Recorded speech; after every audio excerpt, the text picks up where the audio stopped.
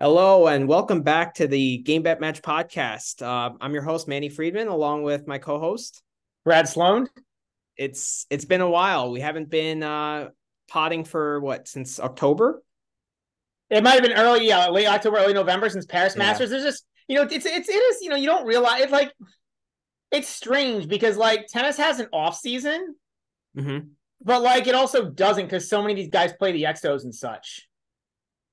Yeah. You know I mean? So like, like there's like there's I guess like a better way to put it is like there's more off season than you think. There is, but also, I mean, no excuse for not potting, but like I I moved from uh, New Jersey to Rhode Island and like we did it, it was just hard for us to pod like from a personal standpoint, but uh, bigger and better things uh, coming for 2024.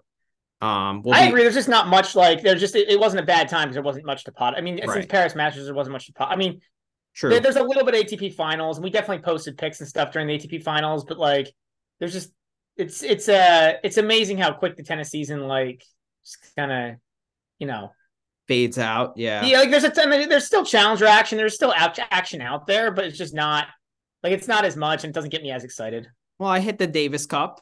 Um, the Davis Cup. the Davis Cup. I didn't even really follow it that closely. Italy won. Oh, that's right. That's right. Sinner. Yes. Sinner yep. saved, yep. Sinner saved three yeah, match yep. points against Djokovic. Yep. That's right. Keep Italy alive, and then he beat Djokovic again in doubles. That's right. I remember and that now. Yeah. They beat Australia. So like, that was a crazy. It was like three match points down for Davis Cup. Like like if he lost those match points, they would have been out of Davis Cup. Yeah. Yeah. So that was uh that was exciting. Um yeah, but uh 2024 will be up on Spotify as I said. Uh we'll see if we'll still be up on YouTube. We probably will. Um, you know, we'll track our picks. We'll be kind of more organized, and we make adjustments as as we go. So uh, it's yeah, not... definitely be more organized in our in our pick management. That got really bad yeah. about that at the end of the year. Um, I think you know, or not. I mean, the end of the year, and just like by by middle of the year, we just we need to be organized there. Um, Mm-hmm. We, we even forgot our slogan though, man. Our back in the house baby slogan. We yeah, that's that true. After two, after two months, so that's true. But 900 followers in year one, well, not quite 870. So I, it's better than I ever would have expected. So oh, I know. I'm amazed that we got over like 50 to be honest. Like amazing, amazing. So so thank you to the followers who followed us all, you know, throughout the year, and and, and uh, especially some of the guys who were in early, um, who were in on the first month, like really helped to kind of grow it up and, and really appreciate those guys for helping out. Mm-hmm. Guys like Klaus Fulgaard, uh, Tidbits Tennis, come at me, bro. Like those, they, they were some of the OGs. J Rod. J well, J Rod, J Rod was like an M, an MG, but he's like uh he's like a he's like a master gangster, master gangster. um, because he kind of came in the yeah. middle, but like he's been definitely definitely help, helping out ever since. Oh yeah, oh yeah. So we plan to do uh two preseason pods, right? Today will be um, a pod where we have it's three going to be three segments. It's going to be the first segment. We're going to do something fun. We're going to pick fantasy teams uh, with a snake draft style of eight players each, and we're going to calculate who has the better team with ranking points at the end of the year. And whoever does will win either a hundred bucks or a dinner bet or some something something. Fun. Oh, it's got to be a dinner bet next time you come dinner down to. Jersey. How am I still up at dinner? I think I'm still up at dinner. You're still up with dinner. Yeah, I think you're you're up two one. Yeah, and what else? Um, and we have the and we still have fees that we have fees out there for this year. You have fees to make right. the top twenty, right? Uh no, top ten. Ugh. Top ten. Oh yeah, it's gonna be tough. he, but he just has to get in. He doesn't have to stay in all year. He just right. has to crack. Just has to crack it. Just has to crack it. And then um, and then I have mine's the next two years. I have over one and a half um masters titles from Americans the next two years. For Americans. Okay. With the rise of Shelton, you might you might have that in the back. And I think one is a push, right? We said one is a push, a push, and two right. is a win for me in the next right. two years. So right, that yeah. So we got that going. Um, so that'll be one segment. The second segment we're gonna do is is also gonna be a lot of fun. It's gonna be hypothetical over unders. So we're gonna come up with some scenarios which are not available on books. They they might be, but most likely not. And we're gonna come up with a line for it and see where we stand. And that's going to be a way to also recap 2023 and look forward to next year. Um, and the third segment will be um, high, who will be ranked higher. And we'll pick two players. You know, we'll kind of each give our rationale, and we'll also track if we if we have any disagreements. we will um, see who does better at the end of the year. So that's that's another segment we'll do. So um, so let let's get right into it. Um, so I guess let's start with our with our draft. Um, yeah, yep. So I, I can start. The first, pick, pick yep. is, is going to be pretty easy. I, I there's no way I can't take Djokovic. He's okay. just he's just way too. I mean, despite the fact he's a part time player, like he's just too he's just too dominant. Like not to and then like I, I don't think we can say that Djokovic is not going to be number one until somebody takes it away from him at this point. Okay. Um, you don't think Father Time is gonna gonna hit him at any? I mean, it could, but, but like, I mean, why why would it this year, not not last year, the year before? I mean, like, obviously, with every year, it's more of a, more and more of a concern. I agree, just pure age, but like, there's nothing in the tennis that suggested that this year. I don't think. Okay. I mean, yeah, guys at their peak are competitive, but like that's only in there. Like, like there's guys at you know on their peak and a good surface for that. And like, like he's like there there are cracks. He's beatable, but like everybody else has dips. He didn't have a dip this year. Yeah, I mean, I trust me, I can't argue with the pick. Um, I, that's yeah. who I would have gone with too. I just think that there are some question marks, and to me, he wasn't like a like a consensus number one. Like I, I, felt like you could have gone with some other guys who play more, for example. Um, yeah.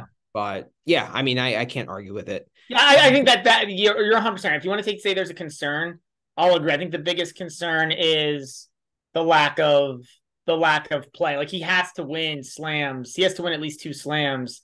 And then the other concern I think this year is like with the Olympics, how like will he prioritize the Olympics in terms of preparation over slams? I think he I might agree. because that's the only that's the only title he doesn't have.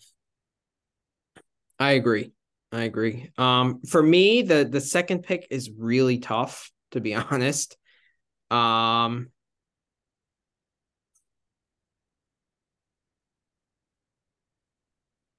but I think I'm I'm gonna surprise you here a little bit. I'm gonna go with Jannik Sinner. I thought you might. Uh, I just don't trust the physicality in slams. But that's the only reason at this point I think that you can argue for not going Sinner is just like can he physically get through slams? I I agree with you. There, there there's a question mark there. I just think like he's paid his dues in so many ways that like I feel like he's due for that next push. Like like and it just seems like he's doing absolutely everything in his power to make that that step. So I, I, really think 2024 is a big year. I mean, I thought the same with FAA last year, and that you know I completely fell flat. But I think Sinner is is just a different animal in terms of just ball striking and you know the improvements he's made on serve and stuff. So yeah, I'd say there's a pretty big difference between what we were. I mean, and I don't think I was. I mean, we ended up having them ranked pretty similarly. In fact, we got to go back and revisit that. We'll, we'll do that. To, we'll, we'll kick off the next pod with that, going back yeah. and revisiting our 2023 ranking challenge and seeing how we did. Because I don't even remember anymore. Yeah, I know we have it on paper somewhere. I just don't even remember. We do. Um, yeah. But um, all right. But so yeah. Anyways, your... it's uh, yeah. I I hear you. I like. I think you could make a really good case if it wasn't for the um the the uh physicality issues. And it's not even just the slams, right? It's like it's like playing a really competitive match with Mackie McDonald, like right. in one of the tournaments out in Asia because he was just gassed after a week or two. Like I just think that is is I I, I couldn't take him second. I uh okay, yeah. but I go I go again right because it's a snake.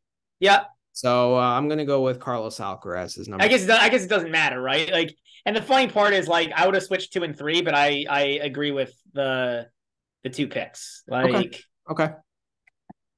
Um. So with my next two, uh, I'm gonna go Medvedev. Mm-hmm. I think fourth, and I think that's pretty clear in my mind. Medvedev yeah. was amazing this year. I mean, Great. I actually think, like, I, I think there's a pretty clear top 4 mm-hmm. So I think Medvedev's Great. a pretty easy pick, and I think that, um, like, I think Medvedev actually had an underrated year. Agreed. Totally agreed. Couldn't couldn't like, say any better. Um, yep. I mean, if you look at the number of tournaments he won, it's like like we forget about like the February March run where he won Dubai. Um, what are the other two he run there? He won Doha, Rotterdam, Rotterdam, Dubai. Um, yeah. and then made finals yeah. of Indian Wells, won Miami. and then Won won Rome. Semifinals of Wimbledon. Yeah. You know, like it's a damn good year. Finals of US Open. And I think he's shown he can play all the surfaces. Like maybe the grass is still an issue. Like I know he made the semis of Wimbledon, but it wasn't necessarily that impressive of a run to get there. Wimbledon was a weird tournament this year. Yeah. But I think with the exception of the grass, um, I, I was really impressed with him showing that he can play way better on the slower surfaces than we thought. I think. hmm You know, he like or he battles through it more. I think he battles through the he he he battled he didn't Does- necessarily play as well, it wasn't as impressive, but he battled his way through a lot of, of wins on slower surfaces. And I thought that was really good. Um I actually think Medvedev is is equally good of a pick as Alcaraz or Sinner. I was actually thinking of going Medvedev over Alcaraz, to be honest. Like it, it was very close. Um, what I will say is I think three, four, I think two, three, four is way closer than this fifth pick. Like this fifth pick, I think is the first real pick. That's Okay. like a a debate. okay. Um, and I think it's tough. Um, oh, man.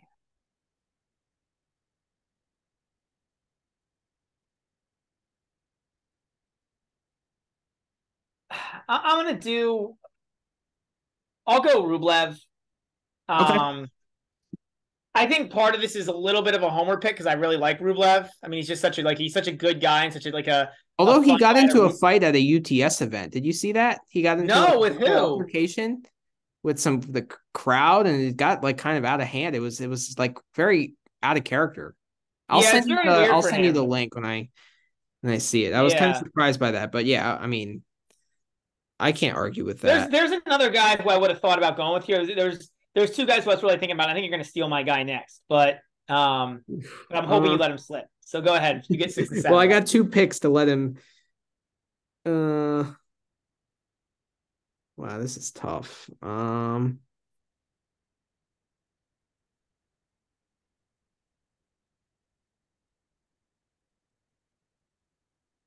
I'm gonna go with uh, Sasha Zverev as number as number uh six.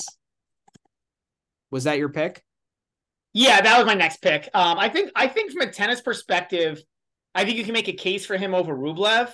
I Yep. hate, hate, hate talking about this, but I do think the domestic violence allegations that are out there. I think you have to factor in. I mean, like, Great. I don't think it's a I don't think it's a zero percent chance that he misses significant time due to like either court procedures or like Yep. um or like I mean if he's convicted like I know, I know. And it, it, it seems like it's a repetitive thing with him, which means which makes me think that like he's guilty. The fact that it just keeps coming back to to bite him. You know? Yeah, I mean, so I, I, I, I mean, yeah, I, I, I hate speculating on that aspect of it, but I Yeah. just think there's a significant. I, I, I think, and it's hard to let him slide any further because he's just such a much better player than anybody below him. Yeah. But I think that he, it's, um, it's like, but I think you have to discuss it just 'cause I think, like, in terms of a tennis, in terms of betting on him from a tennis perspective, like, what if he misses? And, and tennis isn't like other sports where like you have a significant. Again, we like we talked. We said okay, we have it has a little bit of an offseason, but it's only two months. Yeah.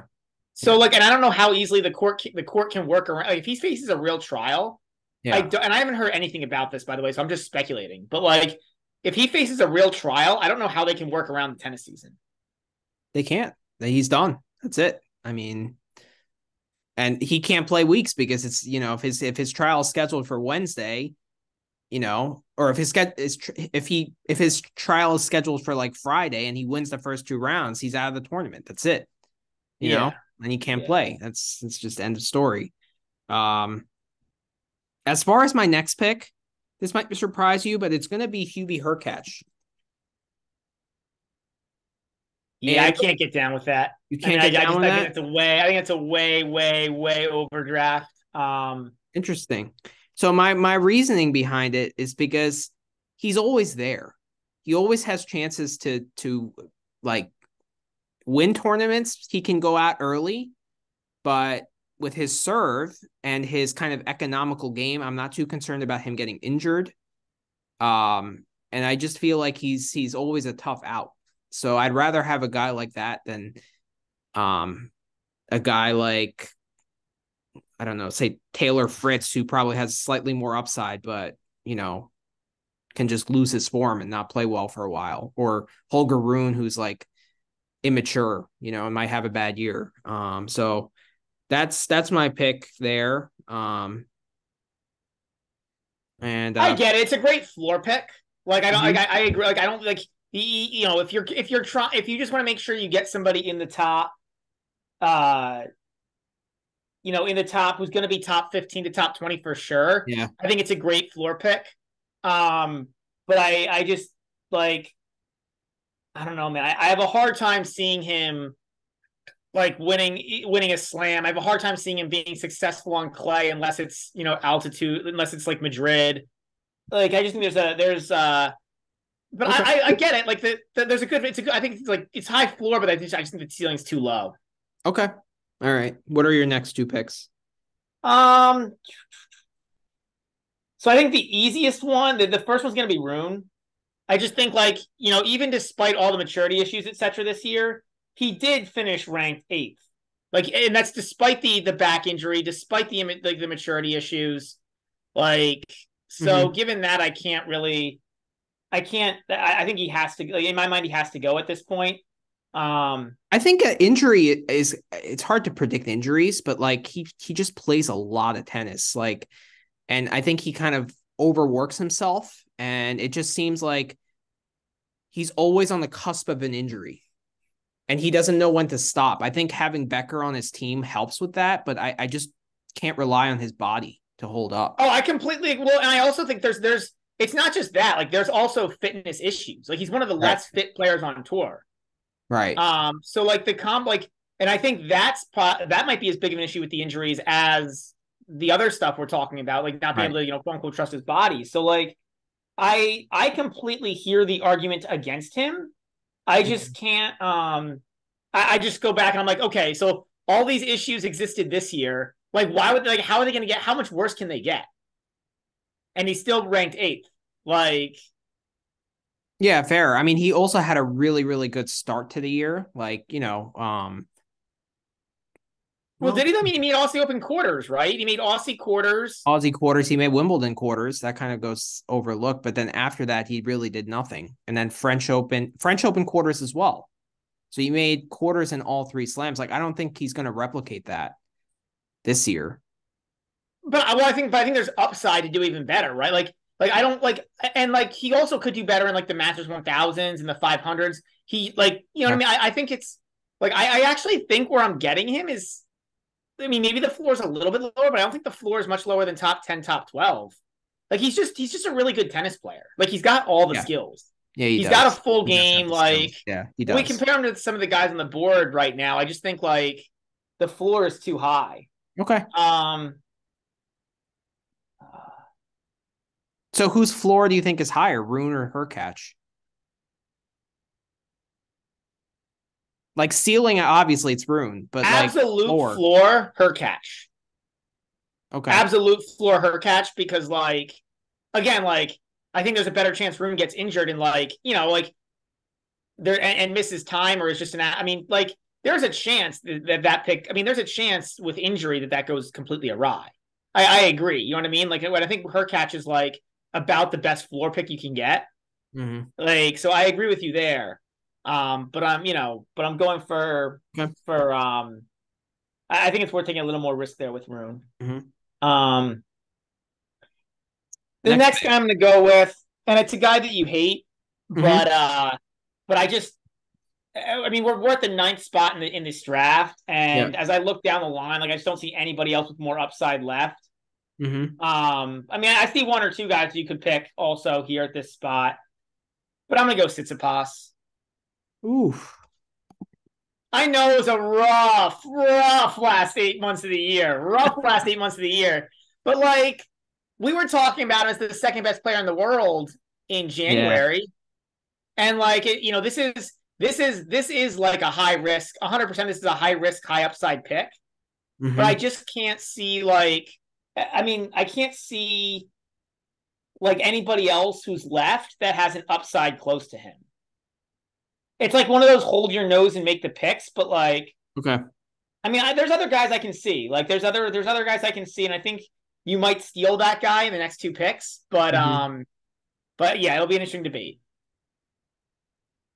Okay. Would you have not taken Tsitsipas there? I could see. I, would not. I see the argument. I would not. not. Yeah, I, I can see. Um. So my next two picks, you kind of have to look further on the board. Um. And I'm gonna go. The next pick is going to be Ben Shelton. That's the other. That's that's the guy I was debating on because I think if you're looking at upside picks again, like that's another like that's another pick that could absolutely, yeah, you know, the upside of there is undeniable. That was my debate. So so you, okay. I mean, it's it's I was debating Tsitsipas or Shelton. So that's okay. that's yeah, I can now I can now it gets really really tough. Um, and I'm debating between two guys here. Um,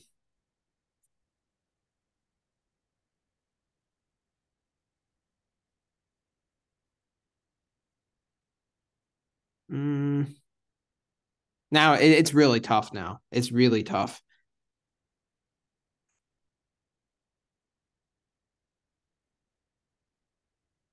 I'm gonna go Karen Karen Karen Khachanov. Yeah, okay. It's an interest eh, like I was debating between Khachanov, Fritz, and Korda. Those were my three guys. And I think Korda has a slightly better upside, but I trust Khachanov to always be there and not get hurt. And he's more durable. And like, I mean, I know he got hurt for a little bit this year, but that's kind of unlike him. And he just has that ability to grind throughout a season, you know, and that that goes a long way for me in, in a challenge like this. So that's yeah, I agree, right? Because like, yeah, I, I I see that. I think the only thing I would say is like we're going for total ranking points. Yeah, and we're looking at guys right now who last year got like two to three thousand points. You're never gonna get a zero, right? The guy's not gonna get hurt. I mean, it's highly right. unlikely he'll get a zero. So like, no matter who you pick, you can probably scrape out at least a thousand points. You'd hope, you know, if that, yeah. that's like borderline top fifty. Um, so I would prefer to go, but like the upside on Khachanov's not that bad. Like his upside as a tennis player is kind of weak, but like he has some pretty good results. Yeah, he made like th- I think two straight Grand Slam semifinals. Yeah, like he's you know again like just like it's it's amazing by how just how just by being there. Yep. Just being well. available, right? Yeah. Your greatest ability is your availability. like, that not getting tired in the fourth set of a match. Like just just yeah. being you know, and that that goes a long way for me. I it really really does. Um No, I mean it makes a huge difference, right? Like on the on the tour cuz it's not it's not a given. And also um, surface wise, like he's equally good on hard grass and clay. Like he's an all quarter. Not not equally good maybe, but like he can play whereas Casper Ruud like he can only play on clay. Right? So I mean, I don't know about Khachanov on the grass, but okay. But he but, I mean, but in quarters. Yeah, fair. Like, fair. I guess. I, I think it's a lot of not many guys do do do play the grass particularly well. Like we always bash right. guys on the grass, and then like it's a small part of the season anyway. So yeah, I, I agree. I agree. All right, um, next two picks for you. It's really tough now. It's really it really tough. It's really tough. Um, I'm gonna go back up the board. I'm gonna take another guy who we love to hate on, mm-hmm. uh, Taylor Fritz. Okay. I think like so I talked about this before, like, and this is my main mantra with Fritz, but like there are so many American tournaments, and he just like sweeps up those American 250s and 500s. But don't you think there's a time when he's gonna like not do that anymore? Like because I feel like it's taking away from him performing his best in big events. And like now he's a perennial top top 10 player. Like I feel like he's gonna make some adjustments to his schedule. I don't think he's gonna do that as much. Like he played 26 tournaments this year. That's a lot.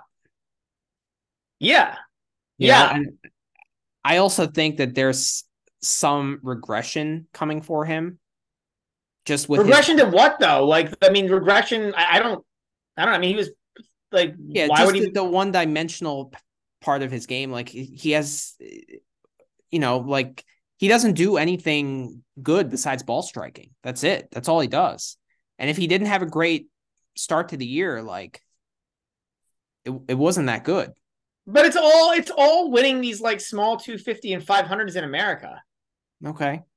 You know what I mean? Like I'm just hoping you can sweep up like, you know, three, four titles and, and, you know, like Dallas, you know, like sweep up Dallas, Delray Beach, stuff like that. Like Okay, fair. Fair enough. All right, what's your next pick? I mean, the second best guy in those tournaments is usually like not even in the top 20, you know? Like you're not asking to, to beat like top guys. Yeah. Um I'm gonna take another American next. I'm gonna go Tommy Paul. Okay. Yeah, I mean, I, I just think he had a really underrated, really, really strong year. I also there think that there's some regression with him coming as well. But again, like regression to what? Like just some regret re- regression in performance. Like I don't think he's going to make Australian Open semis. I don't think he's going to um you know make Acapulco final again. Like I, I just think. I mean, I think Acapulco final is reasonable. I think if you, um, but yeah, I hear you. I mean, I'm looking at this. Yeah, I'm, I'm looking at it. It's, uh, I, I hear you. It's a little scary. It's um, scary, and with the way he kind of, you know, uh, falters in in clutch moments and matches, and like kind of people kind of, I'm, I'm sure players have caught on to that I think it's going to be tough for him to replicate what's what was a great year. Like I really don't I don't think he he is where he he's ranked. Like I don't think he's the 13th best player in the world. I think he belongs more in like the 16 through 19 range. You know, more than the 10 to 13 range kind of thing, you know? Okay. So all right. That's just my take with him. Um Yeah, I mean it's interesting too, because like I think of him as being a young player, but he actually is older mm-hmm. than a lot of the other guys ranked around him. Or he's he's around this like he's a, he's like he's equally as old as Hurkacz. Okay. And yeah. Fritz, which surprises True. me. True. Um so yeah, I uh I see I see the argument. All right, my last two picks are gonna be Sebastian Korda, and Felix Auger-Aliassime. Yeah, I think uh, Aliassime. Aliassime is going to be my last pick, so you stole another pick from me there. It's mm-hmm. amazing how many of these picks we've agreed on. I know. Um, I that was gonna be that was gonna be my my pick at the end of the board. Felix was so um, bad this year, and I think he's better than what he showed this year. He did get injured for a little part of it. Um, and he was just struggling to build that confidence back. And I think the offseason is going to help him. And I think he's going to find his way back into the top 15 I would say that that might be that's a that's a, a hypothetical over under that we can discuss with um, over under ranking of 15 for FAA. I think that's an interesting one. So, um, but yeah, that's those are my last two picks. Korda, I just think he has a lot of upside. Um, I mean, everyone thinks he does. I am more down on Korda than probably a lot of the other people are, just because he's not that strong on serve, and I think his forehand needs a lot of work. Um, I don't think he's as good as people make him out to be, but um, he's he should be in the top 16 in the world if, yeah. if you're thinking yeah. about like this challenge. So yeah. um, I think he belongs to uh, deserves to be in my team. Um, wh- who's your last pick? so it's tough here. I got a lot of guys I'm looking at. Um, mm-hmm.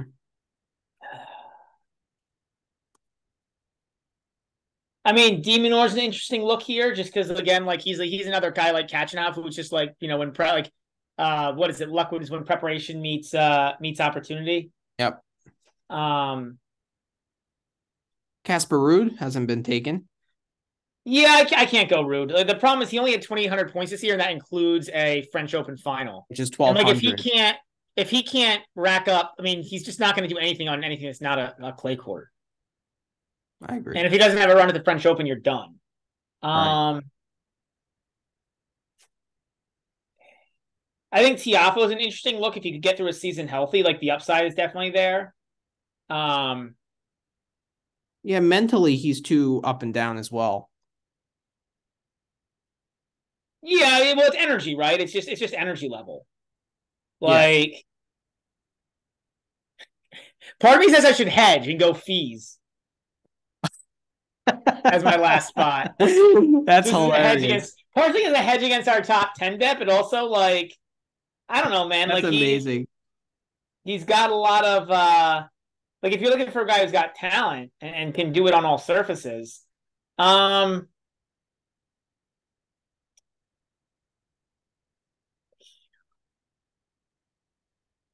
I think it really comes down to de Minaur versus for me, it comes down to de Minaur versus Tiafoe. Okay. And it's really tough. Um that is tough. I'll go Foe. I mean, he there's Okay. enough tournaments in America that if he can scratch out like you know, again, if he can scratch out like some solid 250, 500 performances, And the chances that he makes a deep run at a, a slam are way higher than de Minaur's. yeah. Yeah. So I think that that's a smart pick. Um, Is that who you would have taken there? probably, yeah. Yeah. But I do think Fils is like if you're looking for a young guy, I, I, like if you were looking for a, just a pure upside, I think Fils would have been a fun pick. It would have been. Bublik He also goes- would have been a fun pick, but you know he's just going to clown away so many tournaments. Yeah, I know. de Minaur would have been my next pick, probably if I had another one. Um, and probably, probably Ugo Humbert would be the pick after that. To be honest, Okay. All right. I can see that. I can see that. Um, yeah. Maybe maybe Ruud kind of makes the list at this point too. yeah, I think at some point Ruud has to go. Yeah. Like, there's a lot of interesting. I mean, look, there's a lot of interesting picks, right? Like, Right. um, I think I think Cerundolo is an underrated guy. Like, it's hard to take him in this kind of draft. I think his upside is a little bit limited, to be honest. Mhm. Um, but but if he plays the golden swing, like he should rack up points there. I'm not sure if Alcaraz will or not this year. I could I could see him not if he plays Australia. probably not. Yeah. You know what I mean? It seems like most of the top guys do the hard court swing in Europe instead, and I could see him staying over in Europe. Um, I mean, he might play Acapulco, Alcaraz. Yeah, I'm talking about the, the true golden swing, right? Like the Oh. true like South America. Like Yeah, he used that as a way to get those- back from injury. what? Alcaraz used that as a way to get back from injury. That's why. yeah, exactly. That's my point. So if like if Cerundolo, like Cerundolo could be the if he plays all those golden swing tournaments, he could be the top guy down there in, in every single one of those tournaments. Good. Because He if you look at the other the rest of the top twenty, I don't know that anybody else is going to go go go golden swing. Ruud might just because of how bad this past year was. I don't know what his schedule looks like. Yeah. I don't know. I mean, he'll play some for sure. You know, it would be smart for him to go down there and rack up some points. He's the 250 king, right? But Glenn Clay, right? Like he like he's way better on Yeah. clay, and then right. those are way weaker fields. If you want, if you're looking to get confidence and looking to get points, those that's that's a much better place to do it. Yeah. Um, All right. So that does it for our for our 2024 teams. Um so my squad is Djokovic, Medvedev, Rublev, Tsitsipas, Rune, Fritz, de Minaur, no and Tommy Fritz Paul. No, no, sorry, not de Minaur. Tommy Paul and Tiafoe. I took Tiafoe Yep. last. My team is Sinner, Alcaraz, Zverev, Hurkacz, Shelton, Khachanov, Korda, and FAA. So yeah, interesting. So we're counting ranking points, but there are no ranking points for Olympics. So how are we gonna calculate add that tournament in? Let's add Olympics as a equal to World Tour Finals. Actually, no, we can't. We can't do that. Let, let's let's Right. let's count Olympics as a um as a Masters 1000. Okay, same point structure. Same point structure. Yeah, I think I think how many is it? What how how deep is the Olympics field? 64. 64. So we can yes, then it makes it makes sense. We can play it as a normal, you know, as like a same same ranking structure as Monte Carlo. Okay. Does Sounds- that, do any other tournaments have just 64 uh Masters? I think Monte Oh, Carlo is Paris actually does. 56. Paris too. Paris too, yeah. Paris and, and Monte Carlo are 56. Everything else now is 96, right? Right. Okay, so same point structure as a Masters 1000. Yeah. That's, that's fair. Um, all right, I like it. I like it. So let's move on to our next segment, um, which is going to be hypothetical over unders. Yeah. Oh, this is going to be. I, I like this. Um, so let's start with. Um, you want to start with top guys or kind of uh, lower rank guys? I think let's start with let, us start with guys who weren't involved in the fantasy draft because we talked through those guys quite a bit. Okay. Um, sounds good. Let's start with Davidovich Fokina. So um, will or will not win an ATP title in 2024? What would you set the line at will win, and what would you set the line at will not win?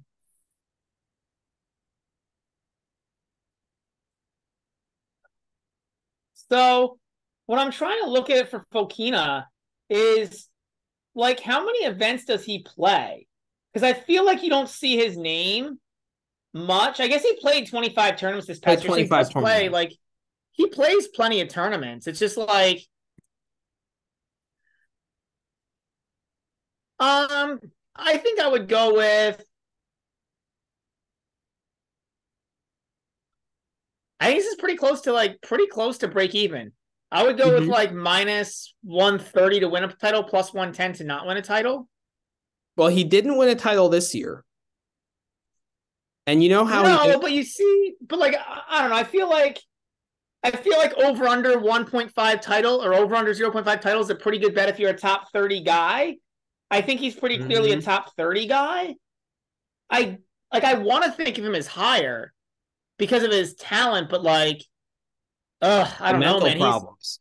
He's, and you know, it's not like he's 19 or 20 like Fils. Like he's 24. You know what I mean? I mean, he's right. he's only a year younger than Cerundolo. He's only a year younger than Humbert. He's older than Korda. Like it's not, you know what I mean? Like he's not like, and it's not like it's his first year on tour. Like I think he was. I mean, he basically went nowhere this year, right? Versus where he finished 22. Yeah, but you've seen signs of promise, like when he played Djokovic at the French, right? When he played. No, I I agree, man. Like, like I that that's why I think so like upside. I think I'd go like minus 130 plus 110 to win a title.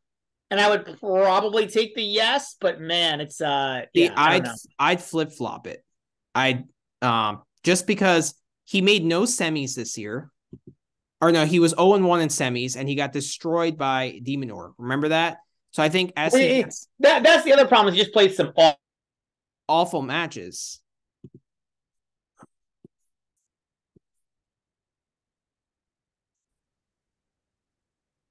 You froze for a little bit. Yeah, I think I'm back, right? Okay, you're back. Yep. Yeah. So yeah, um, you were saying he just he plays some awful matches.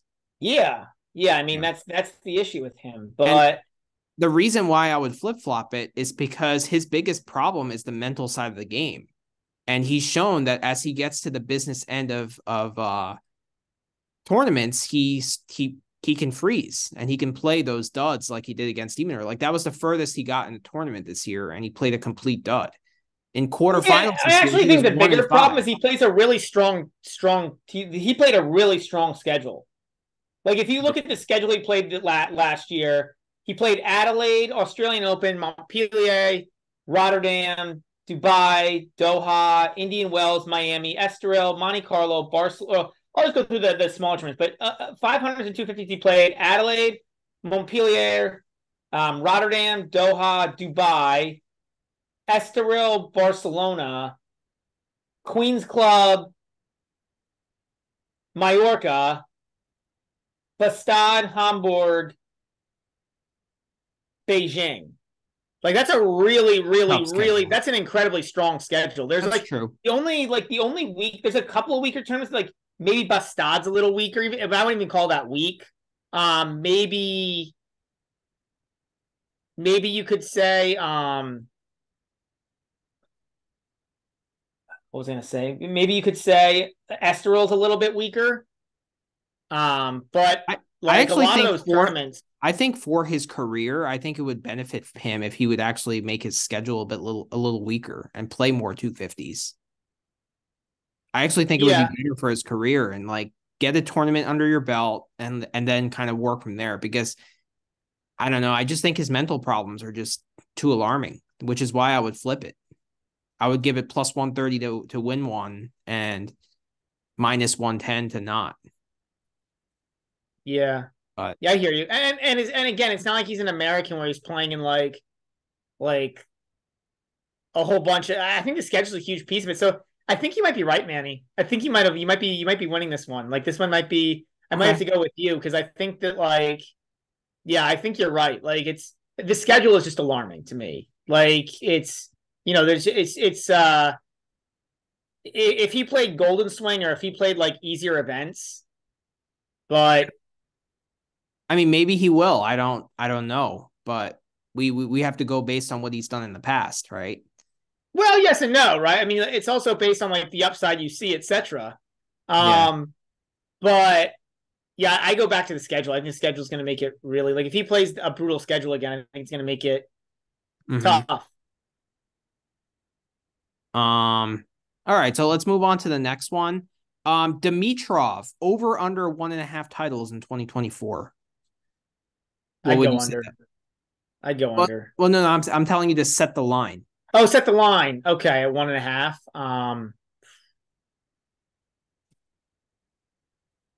I'd put the over at like plus one, I don't know, 40 maybe, under it like minus 165, minus 170. Like, oh. yeah, I just, I mean, I don't know, man. Like, it was a nice resurgence from him, but like, it was a nice resurgence, but like, what makes you think like he can keep it up? Like, I mean, he, you know, he's, uh, yeah, I'm just I'm not high on Dimitrov this year, and I don't know. That might be a little bit of a of a bad take, but um, um, I, I you can say that given what he did at the end of the year this year, like he had a damn good year. 43 and 21. He's ranked 14. Um, I know he's had a tough time kind of backing up a good year with another good year. That's kind of been a trouble for him in, in the past. So I get where you're going there. This year, no titles this year, though. No titles this year. Two finals, Paris Masters and Geneva. Yep. Um, Another guy who played a really strong schedule. Yep. He played I mean, six a few semis. tournaments. Geneva's a little bit weaker. Um, Chengdu's a little bit weaker. Um, but another guy who plays just a really strong schedule, which again is what makes me think like, and for him, like, is really is is like vulturing titles really exciting. True. And, like, you know, like for Fokina, it's a different story, right? Because he's like he hasn't won a title. Like he would benefit from playing some 250s and just winning a trophy. Yeah. Whereas Dimitrov, like he's been a top three player. You know, he's made semis. I also don't know if you're Dimitrov. Like you've made a ton of money. Like, yeah. you know, I don't. I don't really know. Like, like the motivation's got to be a you love the game and b like true. You want to like um and, and like doing well in big tournaments like I, I can't see the motivation being like I want to go out there and like accumulate ranking points. Right. So what what would you say at over under half a 500? Would you make that a pick 'em? No. I mean cuz like there's just not that many 500s. Okay. Right? Like how many 500s did he play last year? He played Beijing's at 500, Washington, Queens Club, Barcelona, Rotterdam. Rotterdam. So that's five five tournaments, and you're asking to win one out of five pretty tough tournaments. That seems like a tough ass. It's a tough ass. True. Okay, Vienna is another one. Oh, I forgot Vienna's a 500. Yeah, I mean, like, look, there's a couple there you'd have a chance at, but like the 500s tend to draw decent fields, though. They do, but like Washington is at the same time as the Olympics this year, right? So like Yeah, but he'll play Olympics, right? Dimitrov? Oh, because he's Olympics. one of the top yeah, Bulgaria, right? Like he Yeah. It's not like America where he has to compete for spots, right? Yeah. So um yeah, true. He'll play there. Yeah. All right, let's move on to oh, so what, what would I say to that? I'd yeah. probably agree with you, but I'd probably go slightly less uh on the under, I'd probably go. I would say minus 130 on the under. And okay. Yeah. So slightly more high on Dimitrov, but uh uh Etcheverry, same same thing. Over under one and a half ATP titles in 2000 in 2024. I was impressed with him at, at the end of the year in Basel. Remember that? Yeah, I that third set tiebreak against Holger Rune when he lost. This is tough. I mean, I think this is the right line. I think one and a half titles is the right line. So this is a funky one in that like this is kind of the opposite of Dimitrov because like Yeah. I'm assuming being Argentinian, he would go play the the Golden Swing again. And if he does that, like those are just weaker tournaments, right? So he's got to bet he's got to like like if he goes and plays Golden Swing, is he the second best player on that swing? Probably. Maybe third, maybe one top guy plays it, but like he's probably this Yeah. like you know what I mean? So he like you would think he, he could you or and that, and that that would be at least Buenos Aires would be at home, Cordoba would be at home in his home country, so he's mm-hmm. got a chance to scrape one out there. This is tough because it's also like the other bet here is like is he going to play as many of these like lower uh, Well, I think he will.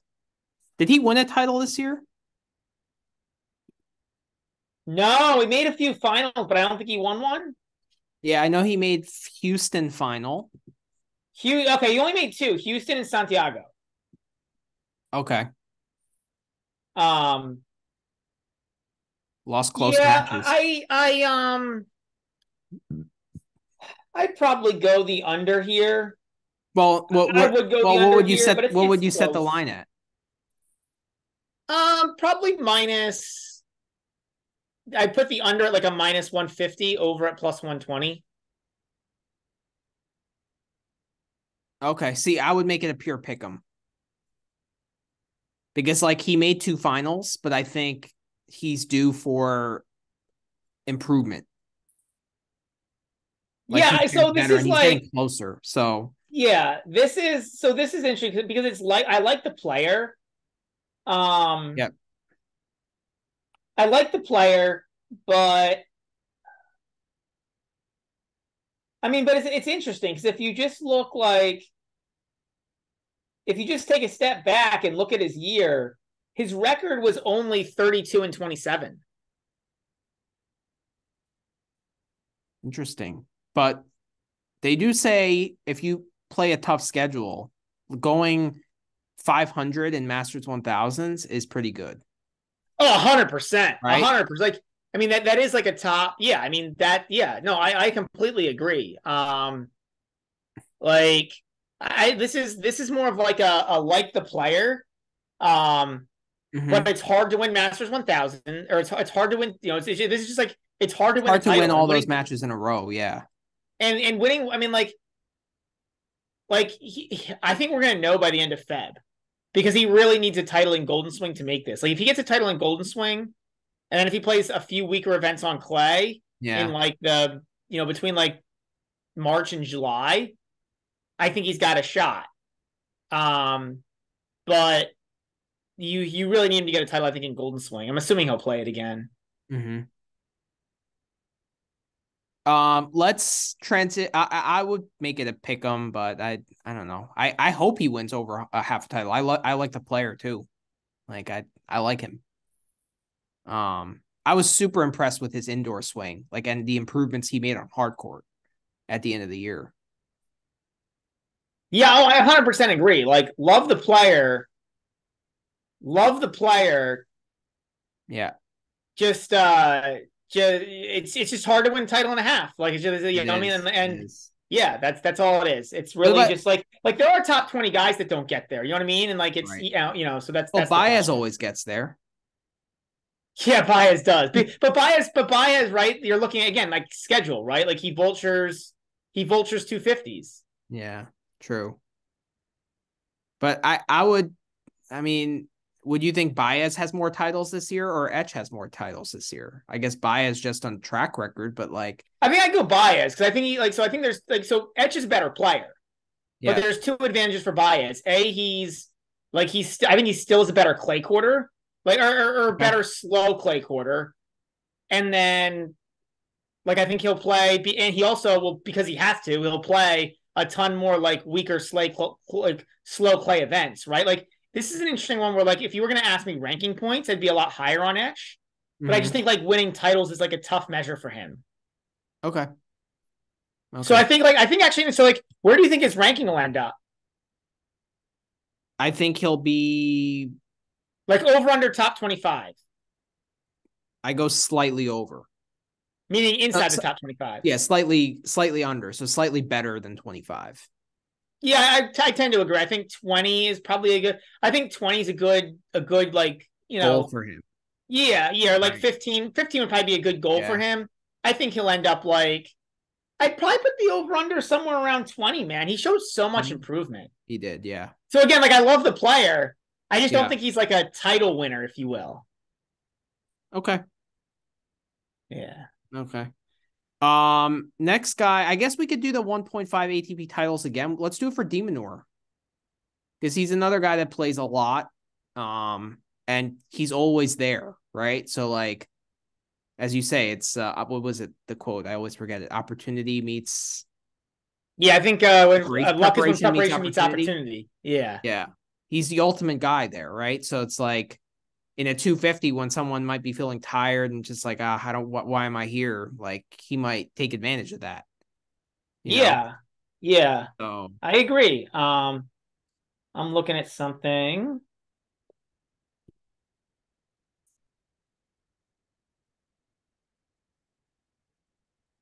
Trying to look up his record in finals for his career.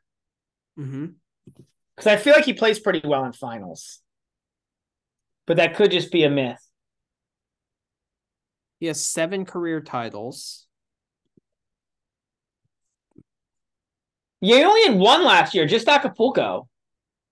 I Mhm. forgot about that. Four finals last year, but just Acapulco is a title. Um, But he made final of uh, Queens. He made final of Los Cabos, and he made final of uh, Canada, Toronto. Yeah, it's just the only one where I think he really had a shot was Los Cabos. And I know Tsitsipas killed him, like that was more of a matchup thing, but in terms like the only Yeah. like of those tournaments, like I don't think he was like it's you know, like asking him, and that's the problem, right? Is like he's another guy who like ranking points is so much such a better like measure than titles. Yeah. Because he's just not like a good titles winner. Right, but he's gonna Um, play his share of 250s, right? And he's always gonna be there.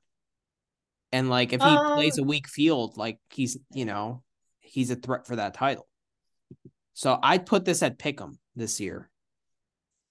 he really doesn't play a share of 250s though again his like smaller tournament schedule this year was um rotterdam marseille acapulco barcelona den bosch which is a little bit weaker queens atlanta los cabos beijing tokyo basel like that's not that weak Yeah, that's not that weak. It's true. Yeah, and he got he lucked out with a really easy draw in Acapulco. So, what would you put his over under in ranking? De Minaur this year. He ended this year at 13, which I think is kind of high for him, to be honest. Like, I think he's going to be a bit lower. I, I would put it at like 16 or 17. Like a pick 'em over under on ranking. Yeah, I think that. Yeah, I think I think that's the right line. I, I think I think somewhere around like between fifteen and twenty is a good pick him on ranking for him. Like he'll be there. It's just again like it's tough to see him making Masters finals. It's tough to see him winning like, you know, winning, Okay. you know, winning a five hundred is, is a tough ask for him. Although he's done it, I think he did. I think he did it in twenty two. Is he won a tournament in twenty two as well. Yeah, I think for the under over, over under one point five titles, I I think I'd go under here also. Like it, it's just really hard. Like I don't know. It's just titles such a tough stat because Yeah, like there is. will be a couple of titles that somebody's gonna win, like somebody random. But it's just tough to say who. And like again, it's another guy that just doesn't play like these weak fields. You know, So you'd put the under at like minus 140. at least minus one thirty, if not higher. Like again, I just think like I think titles is like the wrong measure for him. Okay. Okay. Um, this is an interesting one. Uh, Nadal over under 35 matches played in 24. I'm going way under. Okay. So what would you Um, set what would you set the line at?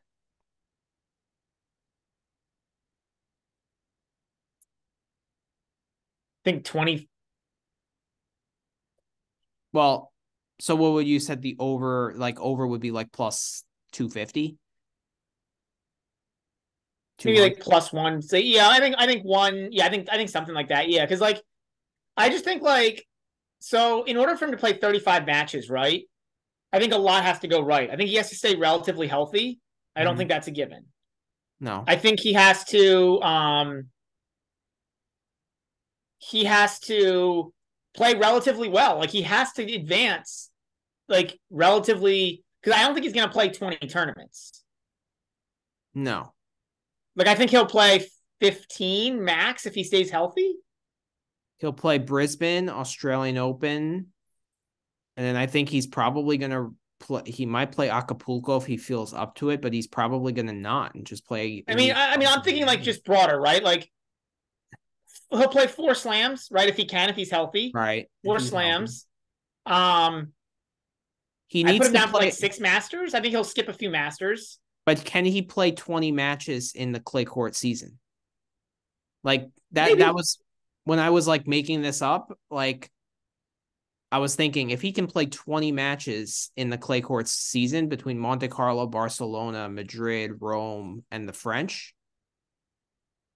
then he only has to play 15 matches elsewhere to reach that total. Right. So like I completely agree he could get there. I don't think it's a ridiculous like I said way under right away. I don't think it's a ridiculous line.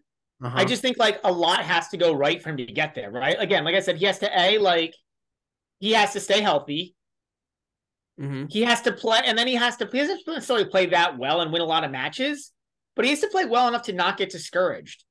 And like if he comes back and he's um if he comes back and he's like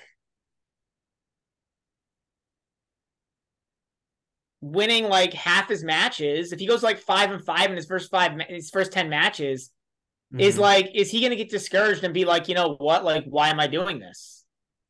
Well, I don't think you can really say getting discouraged with Nadal is kind of a, a thing he does. Like he understands the process. He's come back from these kind of injuries so No, but he's never been. But he's it's never been like this. Like he's had injuries, but it's never been like if he like he's never come back from an injury and like had three months where he looks like he's like top thirty in the world. Like I'm saying, what if he comes back and he's and he's not showing that he's like even like reasonably like within being within the top thirty, top fifty. He's talked about how many injuries he's had in the past. Like, like if you're if he for Nadal, like why play? right? The reason to play is to play in big matches and win slams, right? Like that's got to be because like what else? Like if you're Nadal, what else is there? Like nobody's gonna nobody's gonna care if you if you're Rafa. Nobody's gonna care if you make you know if you win two ATP titles, finish 18th in the world, and you Yeah. know make 1.3 million of prize money. Like no, you know, like, Right. it's not gonna get anybody excited. So I mean, like he plays for the love of competing, and he's done it so many times that it makes me kind of believe that if he's coming back, he's he's gonna play top twenty tennis. You know that that that's, that's my point. Is like I think like if he can't, if he if he's if he's if he's not playing at that level, yeah he might just retire at the French. Because like if he can't if he can't play top, if he can't play top ten tennis, why play? So what what's your expectation for him this year? I, I think like I, that's why I said in the beginning I don't think it's a bad line. Like I have Yeah. no idea, right? Like Yeah. But I just think there's a lot that has to go right in order for him to play a full year. Like I think he has to stay healthy, or at least moderately healthy. He has to play well enough to not get discouraged, and he has to like decide that it's he can like that he can, and they, and he also has to play well enough to like rack up matches. Right? Like like if he can't like like what if he what if he's not top 20 in the world on clay anymore? Or what if he's borderline top 20 in the world on clay yeah. and he only plays, tough. like- true.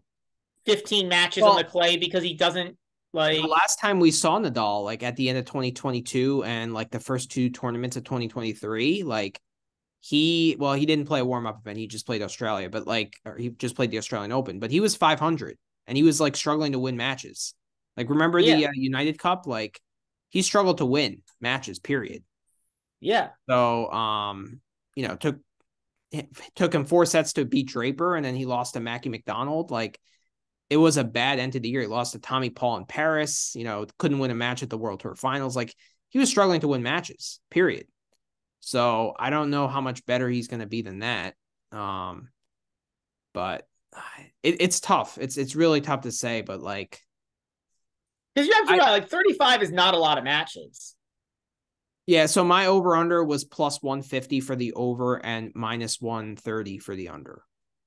So I, okay. I think there's a slightly better chance he gets there.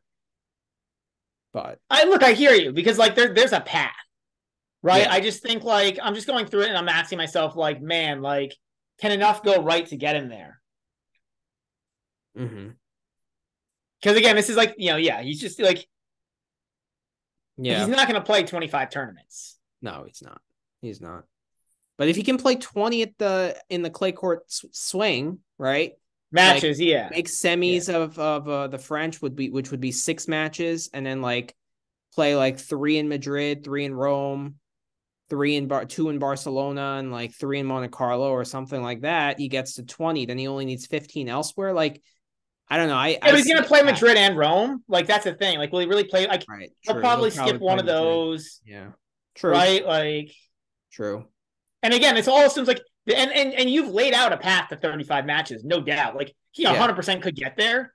Yeah. But like if he gets hurt, you're donezo. If he decides midway through the year he's got to retire because he just can't play it well enough anymore, doesn't want to, you know, like done, yeah. like like you know, like like if he comes back and he's playing top 10 level tennis, which is what I think we all hope because it'd just be fun for the right. game, like then yeah, he'll he'll hit your over easily. Mm-hmm. But if he's not doing if he's not healthy and if he can't if he can't play at a high level, very good chance he doesn't get there. So, well, that's why these are these are hypothetical over unders, and like if if this was an actual line on a sports book, a book's never offering this line. It's just way too like it, yeah. it's such a hard line to put out there, like because it's it's like yeah any over under here would be tough because like it's just there's so much variance yeah. here. All right, next one is quite interesting. I'm wondering what you'll set the line at here. Ruud to win over or under half a title outside of Clay in 2024. Has Ruud ever won a title outside of Clay? Well, he made U.S. Open final. Does that count for anything? he made uh, Montreal semifinal, or yeah, I think semifinal two years ago. Yeah. So he's never made a final. Wait, that can't be true. Oh no, that's that's that's this year he didn't make. This year he made one quarter on hard, and that was his best result. Was Beijing quarter. Um. Yeah, it, it was it was a bit of a disaster. Um, mm-hmm. For his career, he has one hard court title, 2021 San Diego, which I had completely forgotten. I had to look it up. I don't, yeah. you know, I couldn't. Yeah, I mean, I'm not, I'm not remembering 2021 San Diego. That's but he did make Miami final in 2022 as well, and the mat, you know, lost to Alcaraz in that final. Made the U.S. Open final, lost to Alcaraz, and made the. Yeah, I mean, there are slower, there are slower hard courts out there, right? Yeah. Um, that he could do okay on, like in Acapulco or Los Cabos. But he's gotten um, worse on hard since 2022. To be honest, what he's gotten worse on hard court, not better. Yeah. Yeah. So yeah. Um, um what would you set that line at? I think you got to go under. I think you got to go under. I think well, it's got to be like I would go under too, but what would you set the line at? Of I think like minus two fifty or something. Under is minus two fifty, and what would the over over would be like plus, plus two hundred. If it's that, if that's the line, I would be tempted to go over. I mean, like, what, like, what makes you say he can win a title on on hard court? It's just the fact that he made Miami and U.S. Open final. Like, I, I, those are like tough events. I know he didn't have great uh, tough draws in those events, but like, he's shown some promise you know, in his career. And I feel like if he has a better year, the... well, I mean, I guess, I guess, right? Like going back, right? Like I think this is the thing to say. Like I'm saying it's a one out of three chance. I'm not saying he can't do it. Yeah. I'm just saying I think it's one out of three likely or something, or one out of three point two or whatever, right? But like I'm not saying he can't do it. Yeah. But I'm saying like I just I, I just yeah, I think it's I think, you know, three out of ten he gets the you know I mean? I think most of the like Yeah, I don't. I don't think it's super likely. Okay. Okay. Makes sense. You want to touch on some guys that we had in our fantasy team? So I've got a couple others I wanted to do actually. Okay, uh, sure. Yeah, you Adrian Mannarino, Okay. over under uh, ranked 40th in the world next year. Ooh. And I Um, went. I think he's a prime regression candidate. I agree. I agree. But I still think he ends up in the top 30. Um so for 40 I'd probably go over minus 1 or like better than 40, I would go minus 135 and then under I'd probably go or like worse than top 40 I'd go plus 120. That's where I think the line should be set. I think he should land probably in the 35 range. Okay. Like yeah, I mean, I'm just I. he's not 22. Like I think 13 spots of regression is accurate for him. Like he's not going to win three titles and Yeah, my challenge is that before this year, like the highest he had gotten since 2018 was 30. It was in like the mid 30s. and that's where he belongs. I I I think I would, I would set this line closer to even money because like Okay. like so a- as a tennis player, I agree he probably belongs somewhere in the mid 30s, Mm-hmm. but that's not giving a whole lot of room to injury, age catching up with him. Mm-hmm. You know what I mean? So there's there's like there's a lot there's just a lot of risk Yeah, true. factors here for a guy who's 35. to- Damn, good- damn good season in 2023 though. Like Oh, I know, I know, and that- that's why I, I kind of want to discuss this because it Yeah. like damn good season, but also even looking statistically, I think he's a prime regression candidate. Like he won. Yeah, like I think um but age catching up to him, I I don't know. He plays such an economical uh style of tennis that is not really a physical brand of tennis, right? So I know, I, know, he I, I think can- there's yeah he's in terms of injury, in terms of all these other risks, like he's definitely lower on the scale. But it's just like Yeah. at some point age catches up with everyone, right? And like yeah. It's also because he's got a weird style. Um, my concern would be with him is like, what if he can't practice enough? Right? To like stay to like kind of Mhm. stick with that style. So yeah, I think I think 40's pretty close. Like I, I think I would go pretty close to a plus 110, minus 110 on I might go like minus 120 plus 100 from actually to be like to be worse than 40. So being worse than 40 being like a minus 120. Oh, interesting. Okay, so you think that 125, there's like yeah. significant regression here? Yeah, I mean, yeah, if you look, he his um yeah, I mean like so I think like you hit it pretty much on the head with um uh, so with, with your comment about him being probably like his his true skill level for last year being Yeah. like somewhere in the mid 30s, but then again you have age. That was with him being healthy all year, which is it's a risk for any player. Yeah. And then he also he's he's a zero on clay. Right. It's a good point. He's an absolute And zero. so, not even clay, any slower Um, surface, yeah, unless there's altitude where the the serve can play up a little bit. Like, and he He's won. an absolute- He did. He didn't win Den Bosch, right? Uh, but he won Mallorca, I think, and he won Newport. Yeah, he won And Newport for sure, and he yeah. won Stockholm, I think, on top of it. So he's won three events. So you know he's not going to defend all three titles, right? So there's going and that's that's the other problem, right? Like, he's he's he's so dependent on like a few. He needs a few big results because again, the slower surface is a complete zero, Yeah, and it's not just clay. It's he, if, if he plays Indian Wells zero, Acapulco zero. You know, Miami's probably a zero. I might I think she might have done okay in Miami last year, but like Yeah. still, I, I have a hard time seeing him do well there. Like, there's just a lot of t- you just yeah. There's just it's it's a tough road. Like, there's a road there to to grinding out something in the mid 30s, but it's a tough road. Well, he's in the top 25 now. So he's 22 in the world, which is like he also won Sofia. So you know, after yeah, I remember. Yeah, I remember. Yeah, Sofia right? is the one that I remember because I uh yeah. I had the features on and Astana. Astana. Well, I mi- mixed up Stockholm and Astana. So Okay. yeah, it was Astana. Yeah, Sofia, Astana, Newport, final of Mallorca. You lost to Eubanks. Oh, that's right. That's right. Um, so three titles last year, but still, like to what you said before, that's a lot to back up. That is a lot to back up. They, now they were all two fifties, but still, like He can gain some points in maybe like a Delray Beach or you know, uh I don't know, a Dallas, for example, where he made quarters. He could potentially yeah.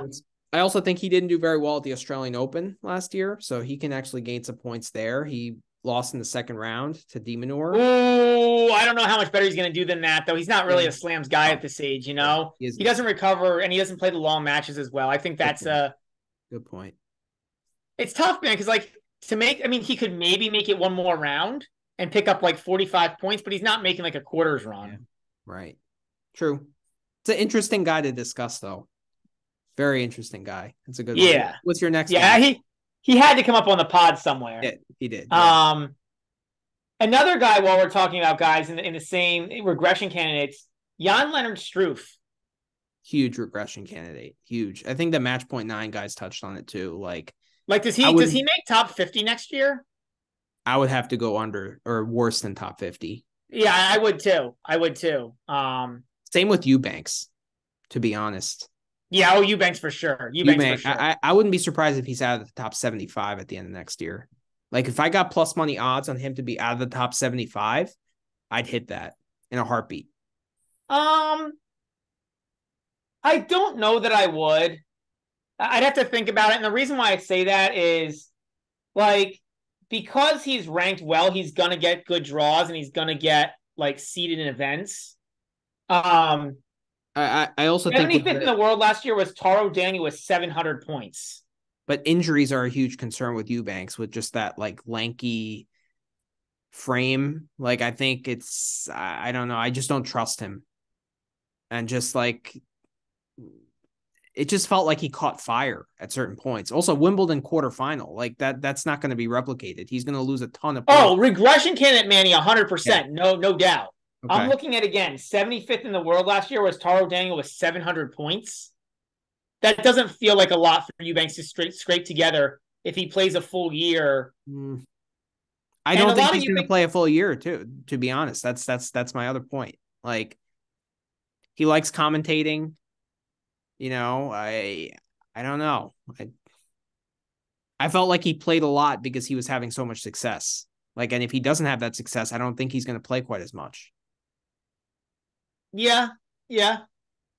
Um, uh, look, I hear you. I hear you. But uh I just I look at it and like 700 points, man. If he can like like a two, you know, if he can scrape out like I don't know, like it, does- it, it seems like he, you know, if he can play again 15, 20 tournaments, that's not even a full year, and you can scrape out like 30 points a tournament. I mean, like, what if you win one match in a 250? What do you get? Like 25 points or something? You know what I mean? Like it's like you know, like like I think it's it's interesting. Lines I agree with you. Major regression candidate in terms of like tennis skills, but Mhm. like it's really hard to drop out of the top 75 once you're in. Like there's just such a bias towards players like you know, if you're in, you get points just for you know, if you win one round. Like I don't know. Like Ruusuvuori is 69.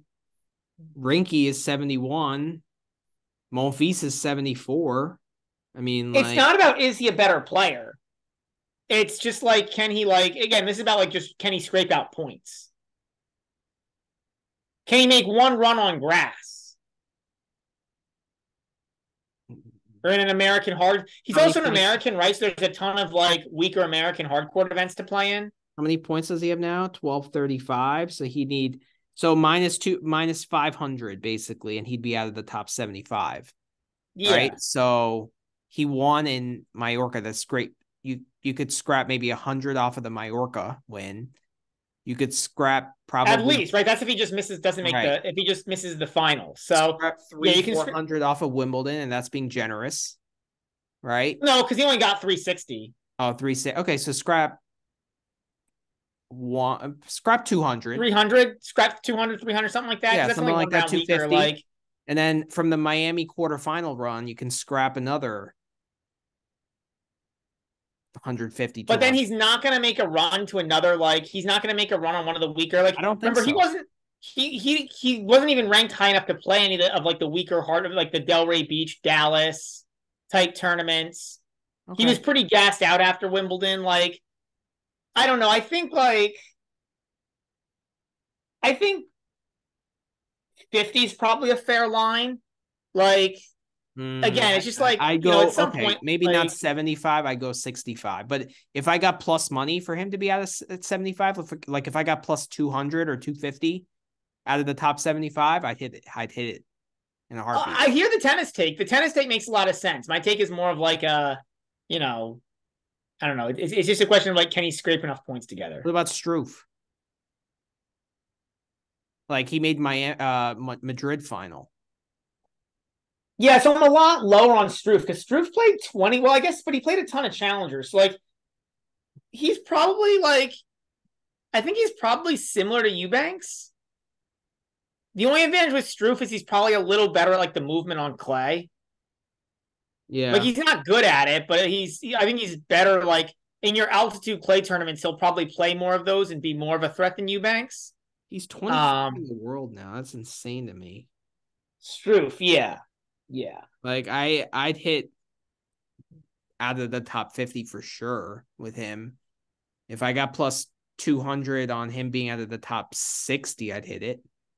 I think too, I think 50 is a fair thing. Cause like so we talked about the negative, but he did miss a bunch of time with an injury, which has I think been a problem for him throughout his career. But he did miss a bunch like if he can stay healthy, right? If he he he he, does, he won't miss three. He didn't play from high until Zhuhai.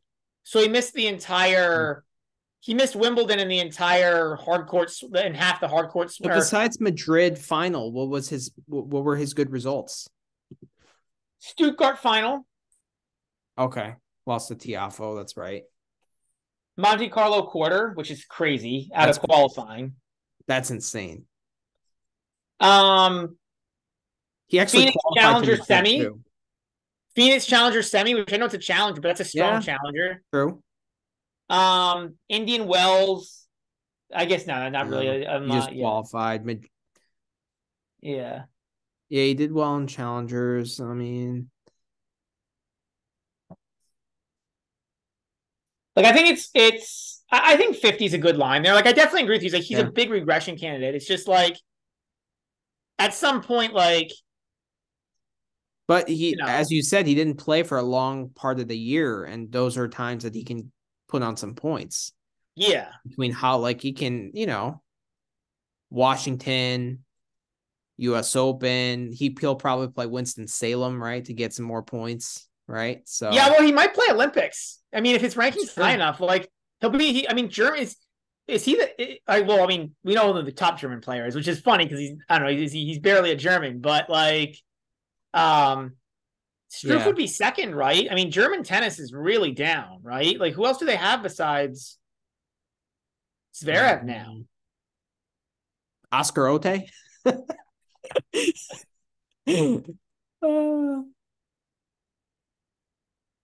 Oh, Altmaier, Altmaier or Altmaier. Hoffman. Hoffman would be the third ranked Hoffman, German, Hoffman. but Dominik Koepfer. Yeah. yeah, I mean, there are German male professional tennis players, but it's it's he'll probably get Olympics, and Olympics is no points, correct? No points, I believe. Yeah. Hanfmann is uh is a good uh regression candidate too, in my opinion.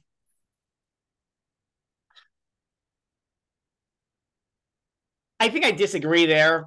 Um, Where is he ranked? like the like the challenge. I, I hear you though because the challenge there is 51. he's like he's he's um. There's just so many areas of the schedule where he he's, he's not going to do it right. Like, um, mm-hmm. you know, like any like he really needs to be on like slower surfaces, especially clay. But he needs the altitude in order so that, that way his serve and his like his his game can play up. So, yeah, I hear you. He's good on like what alt clay altitude. Yeah, he's kind of a little bit of like a clay altitude specialist. Yeah. So, but he did. I Have a mean, it's just so, it's, it's limited, right? But like, Um, you know, a guy who came in really, you know, a guy who I think uh talk about guys who could be a little more positive. What about Musetti, man? Musetti finished the year ranked 27th. He's so much better than that. He is, but he's got so many holes in his game as well. Like fitness is a problem with him. Plus, like he can't play on faster courts because his swings are too big. So any any quick court, he's he's he's 0 4, right? Like he's not gonna make any progress there. Um I don't know. I just I think mentally he has some issues. Like I I I just think I actually think that's too high. Like I would probably bet on him being lower ranked than that. Oh, I can't I can't say that. No. I can't say that. I mean, I just think I, I, can't like... I can't trust the guy. I, I know he started the year awfully and then kind of did a little bit better as the year went on, but like he made fourth round of Roland Garros, but like I don't know, it's I I just don't I just don't trust the guy. He hasn't right. shown me anything to tell me that he's going to improve significantly. There's just so much talent, man. It is a lot of talent. It is a lot of talent, but um all right, let's go into our um we got about half an hour left. Uh let's go um into the um who's going to be ranked higher at the okay. end 2024. Um let's kind of limit these to like two minutes each kind of thing. Yeah. Yep. Um, yep. So I, will give a couple and then you give a couple. Um, okay. So my first one is going to be Arthur Fils or Tallon Griekspoor. And you want me to go first? Yeah. I'll go Fils. Um, just just more talent, like, and and I think Fils can play on more surfaces than Griekspoor, so I'll go Fils. But I, I, think top 20 is reasonable for Fils. I think that's probably like I think what Griekspoor did this year is probably pretty close to the edge for him. Um, you know, and I think Greek I think I think Fils, you know, I mean, I think I think Fils could crack the top 20. Griekspoor is 23 right now, Fils is 36. But Fils, remember the first half of the year, Fils wasn't even ranked high enough to play. So he, will he'll be just basically picking up points the first few months of the year. Okay. Griekspoor to defend Pune straight off the bat, right? Which is yeah. going to be Hong Kong this year. Right, right. So, um, I guess I'm going to stay out of this one because, like, I need Fils to be in the top near the top 10, right? So it's like, yeah. uh, I mean, I came up with this one because I actually think it's really close. Like, I think they're going to meet somewhere in the middle because I think there's some re- slight regression with Griekspoor coming, but I also think that there's upside with Fils. So I think like they're kind of both at, at, at year's end. I think they're going to be both meet around the top 20 to be honest. Well, Griekspoor is at 23. So it's like, I think they're going to meet around there. So I think like Fils is going to meet Greek Griekspoor and Greek Griekspoor is kind of going to stay the same. Okay. Progress slightly. So that's kind of where I see that here. Um maybe maybe they'll meet like 15 to 17 actually. Uh, but I, I would agree with you. I I go Fils slightly. I think Fils could end up like 17 or 18 and Griekspoor would like stay the same. Okay. That's kind of where I see it. Um next one is gonna be um Interesting one. Machac or Ruusuvuori? Oh, I think Ruusuvuori easily. I'm not. I love. I like like when I watch Machac. I like his game. Okay. Um, but I feel like Machac did this same thing last year, where he had a really good swing on the like a really good swing on the indoors, mm-hmm. and then wasn't as good. You know, once he had to go back outdoors. Um, okay, so um, I I disagree with you. Um, which you probably expected because I'm very high on Machac. I just think he's a very talented shot maker and he has a lot of upside. Um, and I think he has ways to improve improve. Um, and I like that success that he had in the challenger circuit where he was winning match after match after match. And I think he like paid his dues there and he's gonna make that next step on the main tour. Ruusuvuori, I don't trust him mentally. I just think he like he's just a grip and rip tennis player. Like he doesn't really think through points. He doesn't really construct anything. He just like tries to overpower guys. And like he's more talented than most, but I think he lacks in certain mental aspects, which are very important in tennis. And like, I don't know. I I just I just like Machac more as a complete tennis player long term. Yeah, I, I hear you. I hear you. I I yeah, I don't know. I mean, I I hear you. I, I get it. Um Okay. So it, it's, it's more about Makach Makach than um Ruusuvuori. Okay. So this is one we disagree on. So I guess we can keep tabs. Yep. So we'll keep tabs. So I've got Makach. No, you got Ruusuvuori, you mean? I have Ruusuvuori. That's what I meant. Yeah, yeah, yeah, yeah. yeah I got yeah, Ma- Machac. Yeah. Yeah, you get yeah. Okay. Um, um, all right, I got one. Okay. This probably will come out on books, but I want to see your thoughts. Okay. Highest ranked Brit: Norrie, Evans, Murray, Draper.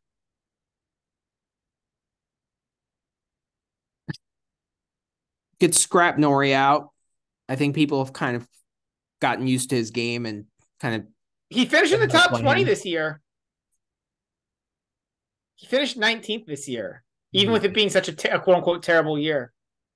Because he had a great start to the year and that golden swing was was really good. Mm-hmm. Plus he won a yeah. 500. So, um, Evans, there there's probably some slight positive regression po- positive regression on him, slight, because you got to take away those 500 points from Washington. Uh, but do you? I mean, he's he's. I think like I don't think it's completely like stunning. He shows up to an event a year and wins. Like it might be a 250 next year, but not a 500. But he could win a title. He could. Yeah. But where did he end the year? 38? Yeah. I think with Murray, there's some regression there. I um Murray, I, I put Murray in there mostly for the Wolves. uh Draper. I mean, he's I, I, he should be ranked higher. I mean, he was injured for a lot of the year. I mean, he, his talent is is top 20 talent. Um, just physically, it's it's a problem. I think he hasn't retired in a match in quite some time, so I'm I'm getting a little bit better on with the Draper, but like, you know, he, he needs like a full year without retirements to like get on my good list again. Like, give me a full year with no retirements, please. You know? Yeah, but I, I, I like if I remember right, he he like gassed out in Sofia against uh, Mannarino.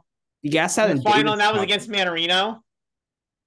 He get gassed out in Davis Cup against Kecmanovic, which is really bad. yeah, yeah. Kecmanovic actually played a really good match, but like he seemed the more winded of the two.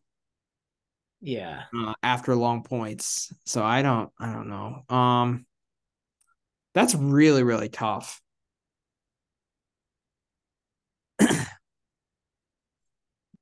I think I'm going to go Draper. Actually. Okay. I just, I just don't trust Norrie and Evans. I don't know. Yeah. Well, for me, it's, it's between. It, it's tough. It's a tough one. I think. I think the guy you can throw out is Murray. His game just doesn't like like like. I, I just don't think he's like well calibrated right now, like at this stage in his career, to get ranking points he, he has tr- trouble backing up wins, you know, and and the fact that he takes so long to win matches or yeah. even play matches, period. You know, like yeah. he doesn't have any other way besides just drawing it out because he's such a good competitor, but he just well, that's all he has left is his, his competitive abilities. I know, which is why the matches are so long. And like, if he wins one of those, there's no way he's going to come back next day and back it up, right? Yeah. Yeah. Like he did it in Doha. Like, like if I was gonna go with like most likely to play a match of the year candidate, I would go with Murray. I agree. But if um but like that's not the that's not the uh challenge here. Yeah. It's tough, man. Like this is really you know, tough. I'm tempted to roll with Norrie here, as bad as he was. Like, I don't know, like he's there. You know, like he he's there, he plays events, but man, it was bad. All right, you know what? Let's you know what? it. You know what? Oh man, it's tough. Give me Evans. Give me. I'll take Evans. You've got Draper. I got Evans. I'll go Evans. All right, you go Evans.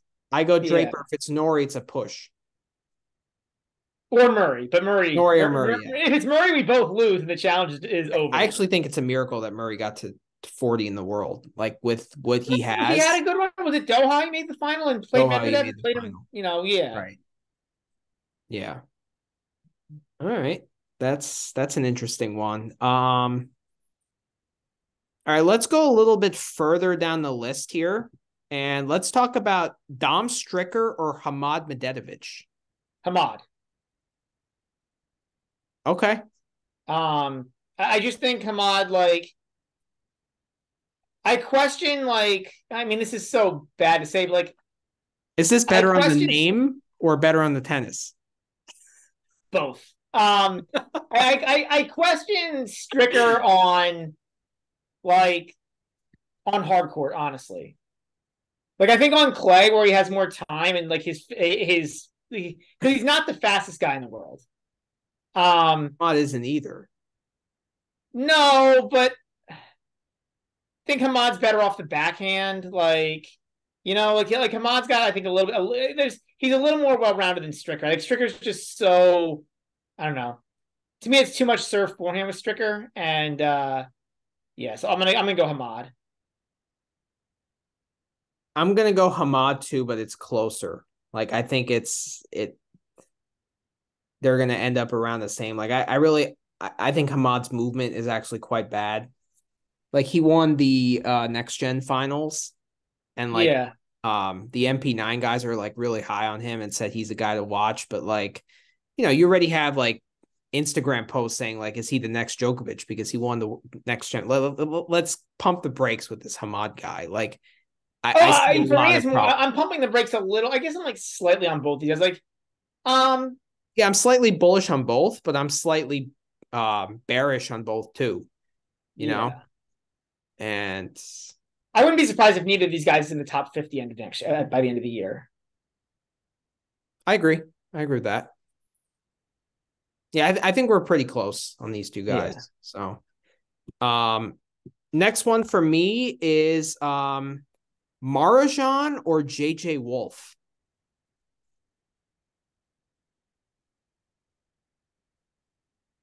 I'm gonna go Wolf. I think Marozsan's the better. T- he, Mar- I think Marozsan. A, a few issues here, right? First, Marozsan like too much, um, like too much variability match to match, right? Mm-hmm. Um, we think of Marozsan as being this young dude, but like they're the same age. Okay. And then the biggest reason, and I'll keep saying about this man, like when we're talking about ranking points, like there's just so many American 500s that Wolf is, you know, Wolf's going to play all the American 500s. He's going to play Delray Beach, Atlanta. Um, what are the other ones? There's Winston Salem. There's like five or six American, like weaker American tournaments he can play. Atlanta and do well in. Yeah, but they both played 25 tournaments. Like, I- do you really think home home court means that much for JJ Wolf to get ranking points? Like, no. Yeah, I don't think Yeah. uh, it's not like Fritz where there's a common trend. I think it's a combination of home court plus like home court and weaker events, right? It's like it's almost like an excuse, like it's almost like he has like a built-in excuse to play weaker events because he. I think do it on Marozsan will find a way to play a lot of 250s and stuff too. Like I'm going Marozsan here. I just think his upside is so so much higher. Okay, I think it's uh it's close, but it's like not that close. I just I just think Marozsan also I think he's going to take that next step next year. Like I th- I wouldn't be he right now he is ranked um where is he? Sixty-four. 64. Yeah, If And you Wolf gave me minus 110 for him to be top 50, I would take it. okay. So, I think I could say the same thing about Wolf though. but Wolf is ranked higher now, right? He's fifty-three. 53. Yeah, So Yeah. I think I think that's kind of where he belongs, to be honest. Okay. All right. So I'm going Marozsan, you're going Wolf. That's an interesting one. Yeah, I, I hear you on the tennis, like, and maybe I'm overrating it, but I think uh I, I like the I like Wolf having like not just 250s and 500s, but weak American 250s and 500s, where like only the American guys play. Okay. Okay. What's uh you give me two. Um I had one in mind. Um let's stick with this same country theme. Okay. Laslo Djere or Kecmanovic. Two guys who like kind of went the op in the opposite direction this year. So like, you know, Kecmanovic has probably had the better career, but Djere made a step up this year and, and Kecmanovic took a huge step back. Uh, I don't really think bad year is, for Kecmanovic. I don't think this is even close. I'm I'm going with Laslo Djere here. I just I, I really like what I saw from him in terms of rally tolerance and in terms of just physicality and just like being there. Um, and I just can't say the same same thing about Kecmanovic. And like with ranking, you're you're weighing like how they how their year is as a whole, right? So like if we did the titles, for example, right? Like who's going to win more titles? I might say Kecmanovic. I think that's closer. But in terms of ranking, I definitely go with Djere. Okay. All right.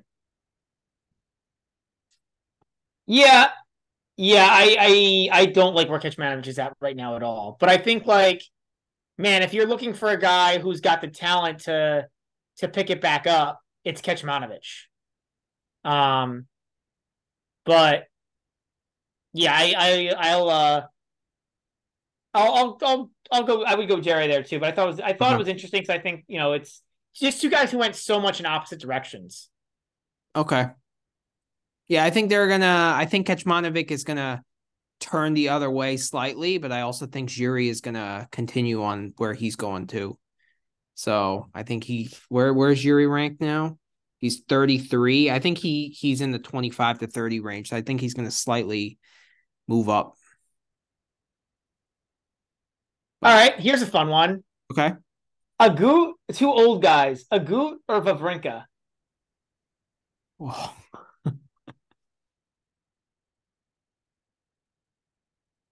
oh my god. I have to go with Agut. I just think like Wawrinka just can't move, period. But he still figures out how to win the occasional match. He does.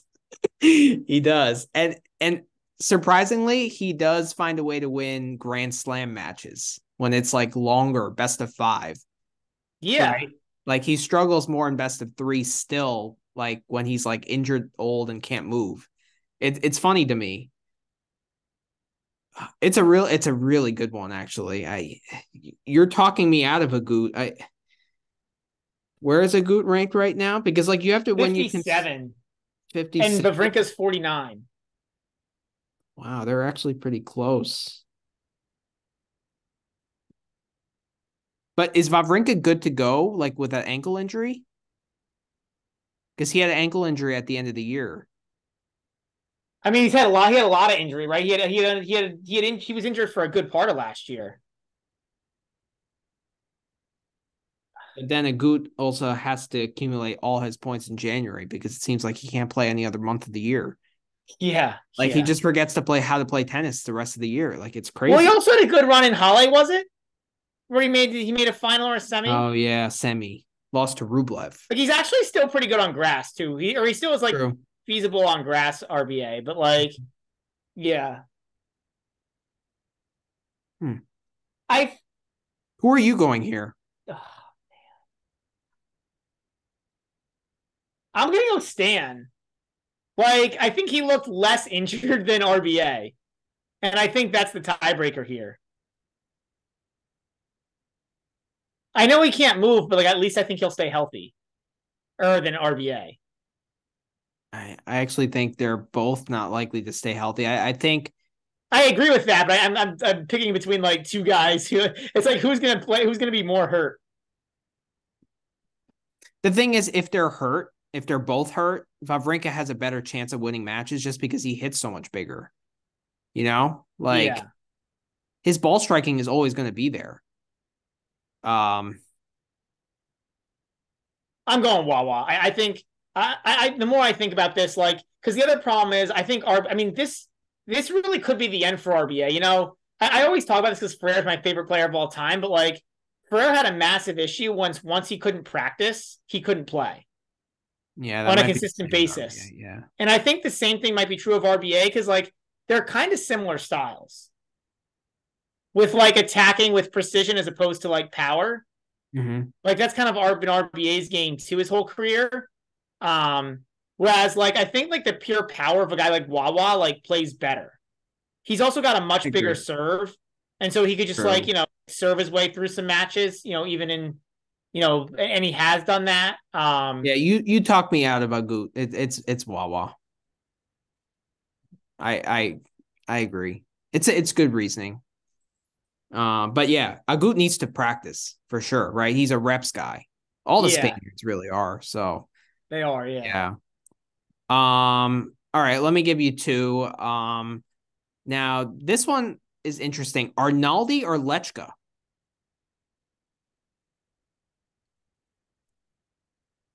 oh man. Oh. It's a good one. It is a really good one. Um, where is Arnaldi right now? Is he in the top 50? Arnaldi is 44 and Lehecka is 31. And I think they're going to meet in the middle. It's amazing because if you told me that, like, if you asked us this in the beginning of the year, right, it'd be Lehecka easily. Right. But then Lehecka really slid after, like, middle of, really after the Australian, but really, yeah. like, middle of February. Like, it never got any better and mentally he's he struggles. Like he he once he's down in a match, it's done. Yeah. Also, yeah. right straight off the bat, he has Australian Open quarterfinals to defend. That's not happening.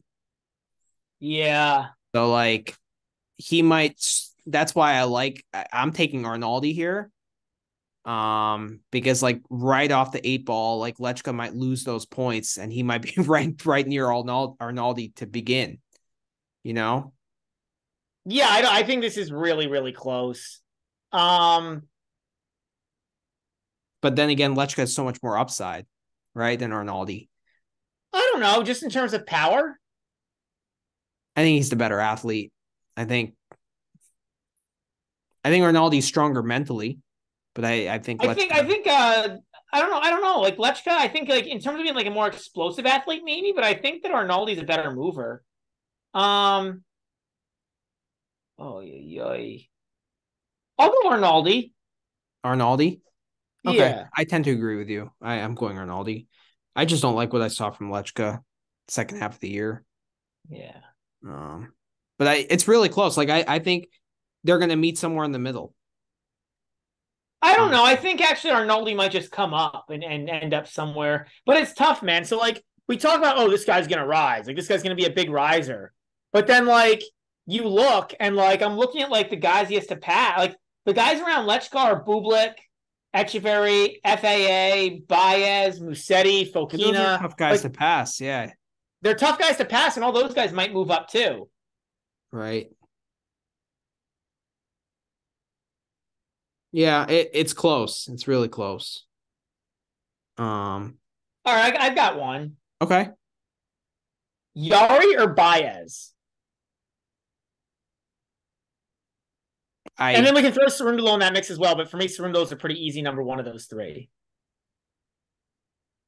I'm going Jarry. I, I think it's pretty clear to be to be honest. Jarry that, or Dolo? Dolo slightly, but it's it's close. But you think Jarry's well ahead of Baez? Yes. Yeah, I don't think it's even close. Like I would put Jarry like like my I had Jarry in one of these. Like I was comparing him to Etcheverry. Like would Jarry be ranked higher than Etch at the end of the year? And I think Etch okay. is than Baez. Yeah, I think if we're doing ranking points, I think Jarry's a better candidate. I agree. Like, yeah, it's it's interesting though because both of these guys are kind of like specialists, right? So, well, but yeah, why, I, why like Jarry is a specialist, like an altitude clay guy, but also why is he like like why can't he be, be better on other surfaces? He just doesn't move that as well serve. on other surfaces. He's just moving. He's improving it, that aspect. What? He's improving that aspect. Like I he's think he's improving, he has, but he still is not good. Right, but Baez doesn't have means to improve. Right, he will always be what he is. Yeah, yeah, I think you're Whereas right. He already I, I think, does. I think you're right. I mean, this is yeah. So, I I have one for you. Uh, Zhizhen Zhang or Roman Safiullin, and we can Zhang. add we can add Popper into the mix too. Um. Ooh, so let me. I'll try to rank them. I'm gonna go Zhang.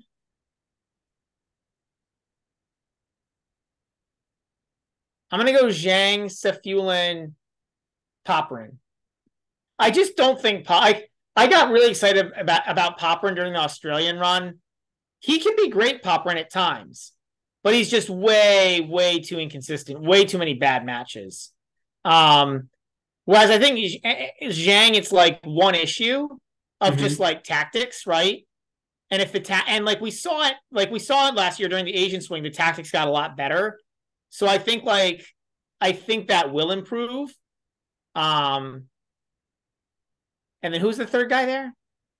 Safiullin. Safiullin. Yeah, I'm gonna go Zhang, Safiullin, Popyrin. Like, I get it. It was a nice rise from Safiullin, but um, and actually, not, not even that though, because like I kind of like Safiullin though, because he like he like this is a little underrated about him. He's slowly gotten better throughout his whole career.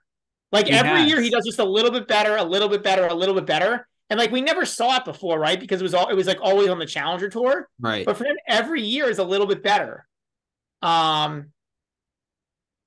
So it's tough, yeah.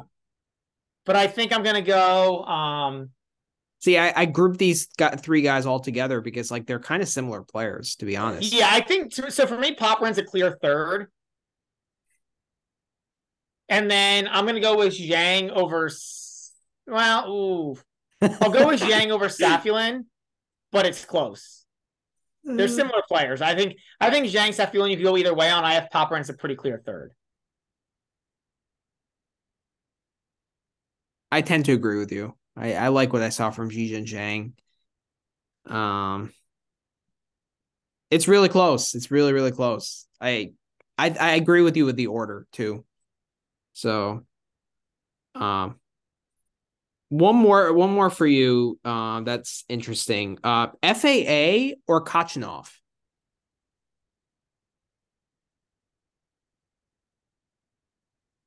I've got Khachanov. I've got Khachanov. I mean, it's tough because FAA's upside is there, but I've got Khachanov, and my reasoning here is that um, my reasoning is that um, I, I just think like we talked about before, right? Like, despite Khachanov not having a lot of upside, like match to match as a tennis player, mm-hmm. that doesn't mean he can't do well. Like, it doesn't mean he can't make like he he's so good in so many areas that he can make runs and slams. He can um yeah, like he can make runs and slams. He can like he, he like it's not infeasible that he could be top 10. I wouldn't say it's likely, but it's not infeasible. I, I agree with you. I just think I and the reason why I agree with you is because with Khachanov, less can go wrong. Yeah. With FAA, a lot can go wrong, whereas with Khachanov, less goes wrong. Yeah. And that's the only reason. That's that's the only way I can really sum it up here. Like with FAA, I'm not going to be convinced that he makes it back until he makes it back. Yeah. And I don't buy into his whole like it was so funny how after he won that title, he was like, "Oh, I'm back."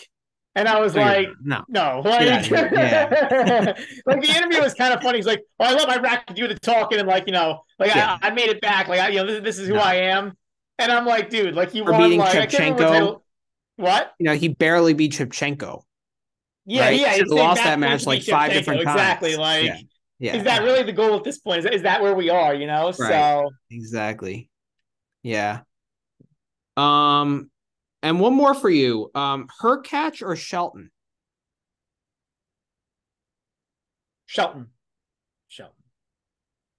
Yeah. I mean, look, right? Like Shelton. So, like, it's easy to say, oh, he made a couple of big runs and he's going to have regression and lose points there. 100% I agree. But also, like, look how bad he was for large swaths the rest of the season. And, like, why can't he do better there? Also, like, even Clay, like, is his game made for Clay? No. But, like, why can't he perform decently well on, like, especially, like, altitude play with that serve? Like, right? Like, why can, like, he, like, he can get better. And, like, if there's a guy who can get better, it's Shelton because he's so raw. Like, if there's a guy who yeah. you're going to bet on, like, upside and improvement, like he has such little experience in tennis compared to these guys, right? Like forget age, he has such little tennis experience. Yeah, I, I, you know, but like I feel like he could re- potentially regress to, you know, what he was in like Cincinnati and Toronto. Like, it's a, it's amazing his improvement from those events and like Wimbledon, for example, I understand that's a surface he never really played on. So let's let's compare like Toronto and Cincinnati to what he mm-hmm. did post US Open. Right?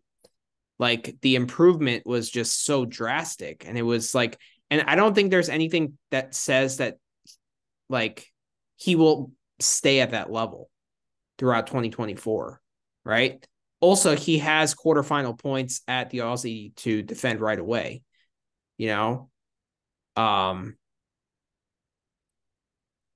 so I, I I'm going Hurkacz here. I just think like the floor is higher. Yeah, the floor is higher. The floor is the floor is higher, but I think this. I mean, this is a classic floor ceiling debate. I'll go Shelton. So I think that's when we're different too, right? So, so I have Shelton. You have Hurkacz. I have Hurkacz. Yeah, I just right. I I think you know should trust me. I I have Shelton on my my team. Like I think he's gonna have a good team, but like if I'm betting on someone, I kind of want that surefire floor guy more than the ceiling guy. Plus, like Shelton's floor is pretty low. Like the level that he showed in Toronto and Cincinnati and whatever he showed before that, like uh Indian Wells, Miami, that was pretty bad. It wasn't great. Like remember he lost those two matches to Shane. Oh, the floor is low. Yeah, but I mean the, the floor, but like he's allowed to improve, right? Like, and I get that's what I'm betting on is that I'm betting on like that that's not the same guy, especially because we we literally saw the improvement with our eyes, right? Like we could. But like, the we, level of improvement was so drastic that I think some of it is false improvement. Okay. I don't think it's it's maintainable improvement. You know. So you think the tactics getting better? He thinks his, his tactics will regress. Yeah. Also, he won like every single tiebreak. And we saw like when Tiafoe did that, he was yeah, that's true. That, that that's always right? a bad sign, right? Like that's always like winning tiebreak is always a bad sign, right? So I just think like, you know, with Tiafoe, once he started losing tiebreaks, there was some serious regression, right? Yeah. So and I think that that's going to be the case with Shelton. So also with Hurkacz, I think there's positive regression in terms of tiebreaks because like with his serve, he was like 50 50 and I think if he gets better in like key moments, I think he could. Uh, he I mean, his, like sixty percent. His, his tiebreaker record for his career is not that good, though. Um, his tiebreak record for his career is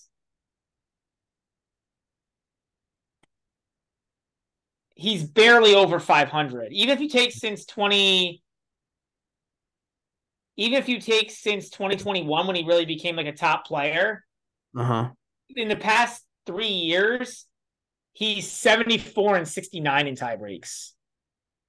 So about 500. Yeah. Okay. I mean, maybe he gets to, maybe he gets to like 53%, 55%, but like it's not going to be Djokovic, you know? And that's the case with most guys. Like tie breaks really are a coin flip. Yeah, but I'm just saying if he can improve a little bit from the baseline and maybe hit a little bit bigger on the forehand, for example, like I think there's some positive regression there. You know, and not get like super tight and a key moment, you know, like as you get experience that more, you know, typically you you Yeah, but he hasn't experienced that enough.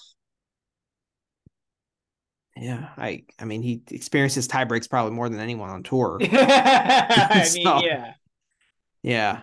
Um all right, give me a couple and then we'll we'll wrap it up. Um All right. Um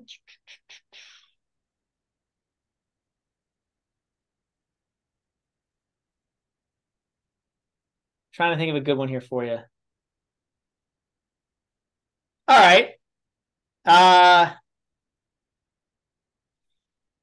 Kokkinakis or O'Connell, two very different Australians. Jesus Christ. uh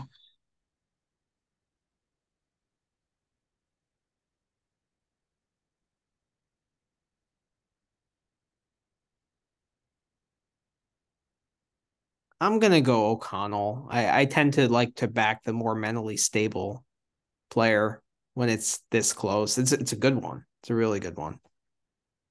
Um, I'm gonna go Kokkinakis. I think once the ranking points get this low, like you want the guy who could like make a run. Okay. Um, you know, and you know, like like and Kokkinakis really make a run, like uh in Adelaide, in Australian Open. Okay. That's really it. After that, he's going to be losing second round, you know, first round, second round. I mean, on grass, right? Like on grass, he should be better with the serve. I don't know if he's ever done that well on grass, but he's an Australian guy. He should do well on grass. Okay. It's close, but I'm going O'Connell here.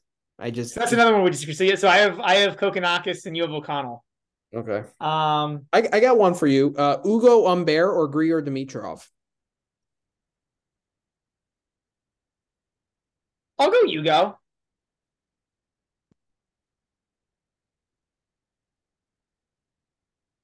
So Actually, you think there's yeah, I'll go Hugo.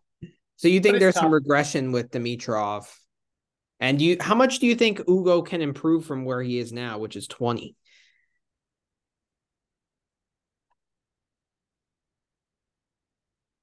Like it's tough. Once you get to where he is, it's Jarry, Norrie. I guess Norrie, there's some regression there. Shelton, Tiafoe, Khachanov, Dimitrov, Paul, Demon, or like I think 15 is reasonable. Like I don't think he has to be that much worse than deep like than Demon or Paul. Okay, so you so Dimitrov is 14 right now. So you think they kind of meet in the middle? Um, I think that's what will happen. I mean, it's tough because either of these guys could go sideways. Right. But I think there's more of a chance that Dimitrov goes sideways. Also, Ugo had a great year compared to what he did the previous year. Can he back up another good year? I, I tend Yeah, but you can say the same thing about Dimitrov, right? Yeah. Yeah, I don't know if Dimitrov can back up what he did. So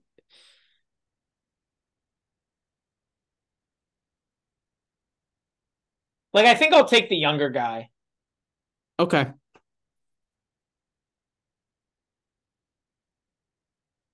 Yeah, I, t- I tend to agree with you there, but I think it's it's really close. It's really like they they might end up like within one ranking spot. Like this one's close. I don't know. It could be close. It could be close. Um, and my last one is uh, two American guys, uh, Paul or Tiafoe. Yeah, I knew you were going to bring this one up. Um,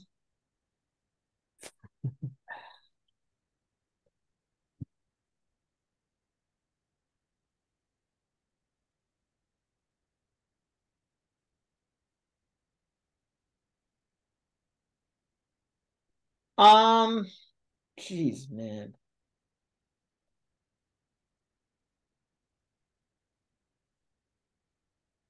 Like, I think this is one where like I think there's like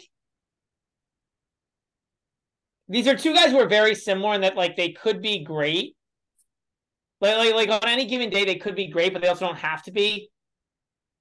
Mm-hmm.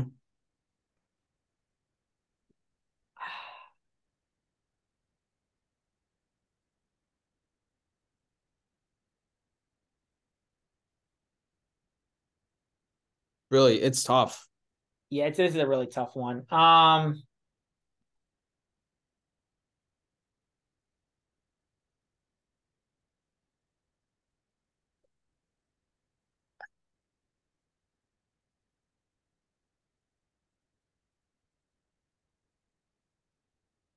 I think I'm gonna go Tiafoe. I'm gonna go Tiafoe. I think he'll. I think I think he's slightly better, and I can't believe I'm saying this, but I think he's slightly better Mhm. on clay, slightly, not much. okay. And even though you wouldn't think with their games, and I think he's slightly better at taking like 250s and 500s a little more seriously. But again, it's slight. Like, what did Paul do in 250s or 500s this past year? Finals of Acapulco. Fair. Um, he didn't he make the final or semi? I think he made the semis of uh uh Eastbourne. Yeah, semis of Eastbourne or finals of Eastbourne. Finals of Eastbourne. Um, how did he do in Washington? Didn't play. Oh, He played Los Cabos and lost to De Minaur. yeah, in the semis. Um, quarters? No, semis. I think. Yeah, I think. Yeah, no quarters. Quarters. Yeah. Lost Uh, to Isner and Newport. That's not good. He had the legendary loss to uh Albot and Delray Beach. Yeah, Because he wanted to watch the the other guy we're talking about, Tiafoe, in the uh, in a celebrity game. Yeah, yeah. Um, that would be a legend. I don't think I'll ever forget that loss. Like that would be a legendary loss for me. Like for all time, I will never forget. Like And You'll never forget Chardy losing to or uh who was it? Go on losing to Go on Chardy. losing to Chardy, yeah. Yeah. Uh, I'm gonna go Paul here. I I don't know. I, I just don't like what I saw from Tiafoe energy wise. It, it's cl- very very close, but um I'm gonna go Tommy Paul. I hear you. I hear you. I, I think it's it's yeah, but it's really close. Okay. Do you have one more for me before we wrap it up? Um, so I'm trying to find a good one here. Um,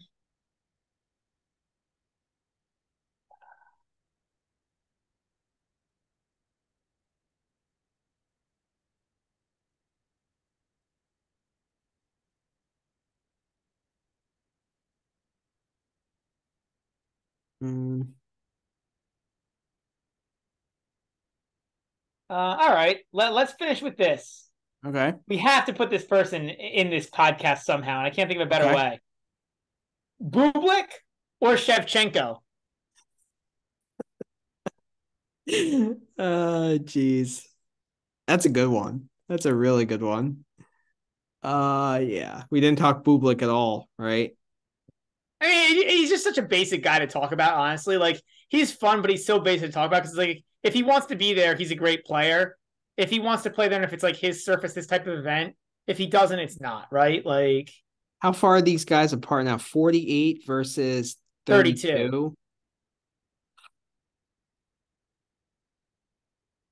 You know what? I'm gonna go Shevchenko here because like I think Shevchenko is kind of on the upswing, like the arrow is going up with him. Um, I mean, he does have maturity issues, but like I think he's working hard every day, like he's putting in the hours. Whereas, like obviously with Bublik, like like we don't even have to talk about him putting hours in. Uh, it's hours, man. if only he you know, puts hours in the club. What?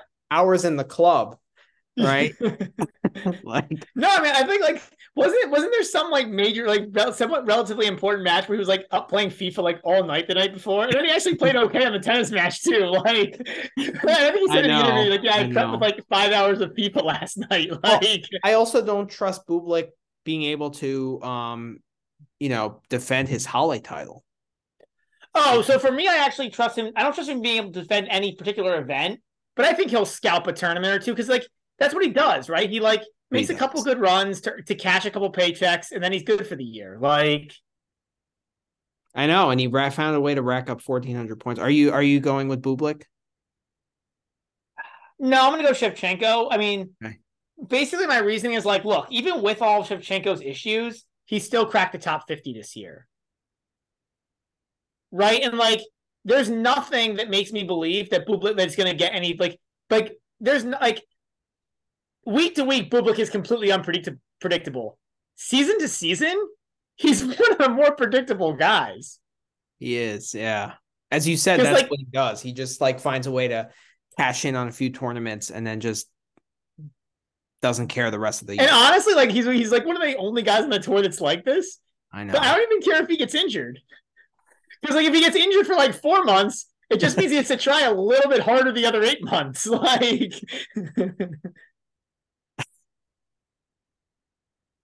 All right, I'm gonna end with this one. I think it's quite interesting, but I think uh the MP9 guys they brought up they brought up this guy, and uh I think there's room for some slight regression with or positive reg- um, regression with him. Um, but I'm gonna go Baez versus VDZ. I'll go VDZ. Even though Baez is ranked 28 right now and VDZ is ranked 50. Yeah. Yeah, I mean v- VDZ wasn't the top. Like this was a really bad year for VDZ, and he really looked out of it mentally. He just really didn't, like, you know, at times he didn't look like he wanted to play. Um, but he did pick it up a little bit at the back half of the year. Like, you know, ah man, now I don't know. It's a lot of spots to make up. You know what? Give me Baez now that I've thought about it. Like Baez is still young. Like I don't think he's gonna get much better, but he could get a little bit better on hard court. He he did well in Winston Salem. Like he did well in one of the indoor tournaments, I think. Like, you know, like there's there's like he showed a little bit more at times. Um so give me Baez. I don't love it, but give me Baez. I'm gonna go Baez too. I, I think there's some room for improvement with VDZ, obviously, because his the year was so bad, but like not that much to make up 20 spots. Like I think he's gonna be somewhere between 35 and 38 in that area at the end of the year. All right, here's one for you. Yep. This this will be a good one to finish on, I think. Okay. for for the lulls. Shapo versus Schwartzman. Ooh. Damn. I these guys One guy mentally looks like he has no interest in playing. One guy wants to play but just can't. these guys are like such so much of an afterthought that like I didn't even think about them to be honest. Yeah. which is insane. Um,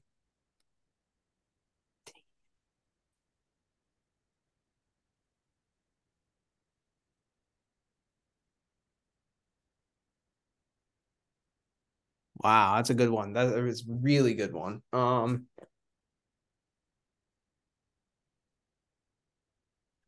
I gotta go Schwartzman, man. I gotta go Schwartzman just because, like, first of all, Shapo hasn't played in like forever, so like I don't know how severe this injury is. So that the fact that that's a question mark kind of leans me to go Schwartzman, just because like Schwartzman has been playing playing badly, but playing a little bit. Plus, he showed small signs of getting better towards uh the end of the year. Um, and I just trust Schwartzman mentally more, you know, like I- can't trust Shapo to, you know, play better tactically and make more balls on the court and like not just bash winners, like, you know. So I don't know. What about you? But the upside with Shapo is so much bigger. Like he's he's top 15 talent, you know? Yeah. I mean I'm gonna go I'm gonna go Shapo. Like Okay. it- for me it's a real question of like but honestly, like it's a real question for both these guys because like does Schwartzman even like will he even get into he won't get into Australia, right? He'll have to qualify? I'm assuming. I I don't think either of these guys will. I don't think either of these guys are in the top 100 right now. No, they're not. Schwartz Sch- um Schwartzman is 114. 109, Schwartzman's 114. Right. So, I mean, they're going to get wild cards. Like if they're healthy, they're going to get wild cards to some some events. You know. Oh well, but will, will they? Will they though? I mean, like, are these guys enough of draws to get like like Schwartzman will to um to anything um Schwartzman will to anything in South America, but I don't know, man. Yeah, I mean, Shapo probably will just because like. But a lot of times, especially for the slams, they give out wild cards to guys to home players. Yeah, I just think like he's too much of a draw from a ticket perspective that he's going to get some wild cards. Yeah. Yeah. Neither of these guys are on the entry list. Wow. So they're hmm. both alternates. Interesting. Well, that, that was a great one to end on. That was okay. Oh, one more Nakashima or Cressy?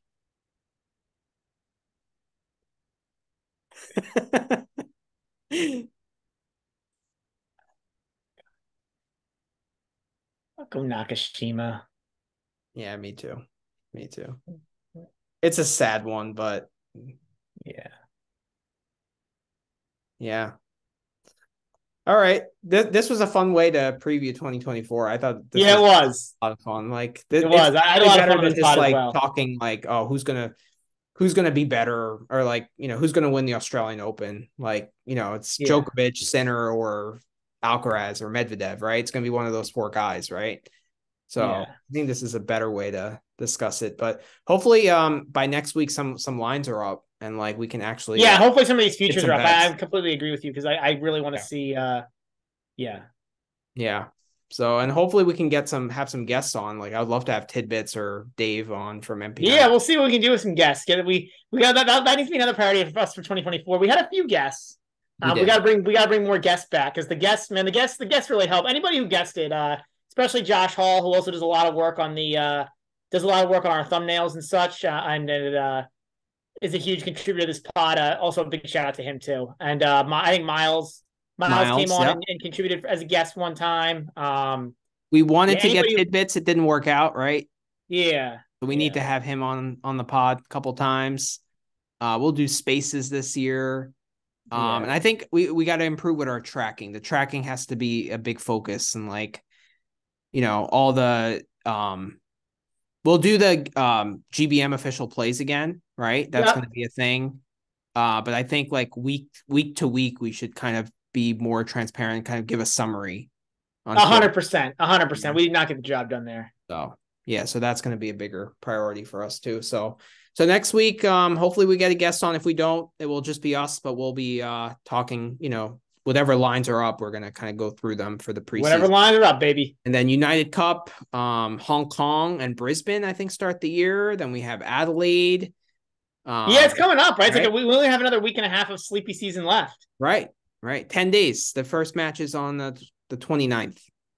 So, Alrighty, we gotta get we gotta get some lines up, man, because I, I we gotta get some uh I got to get some features down next week. we do. We do. All right, everyone. Have a have a good night. Yeah, good good shot. Good good pot, everyone. Right. Have yep. a good time.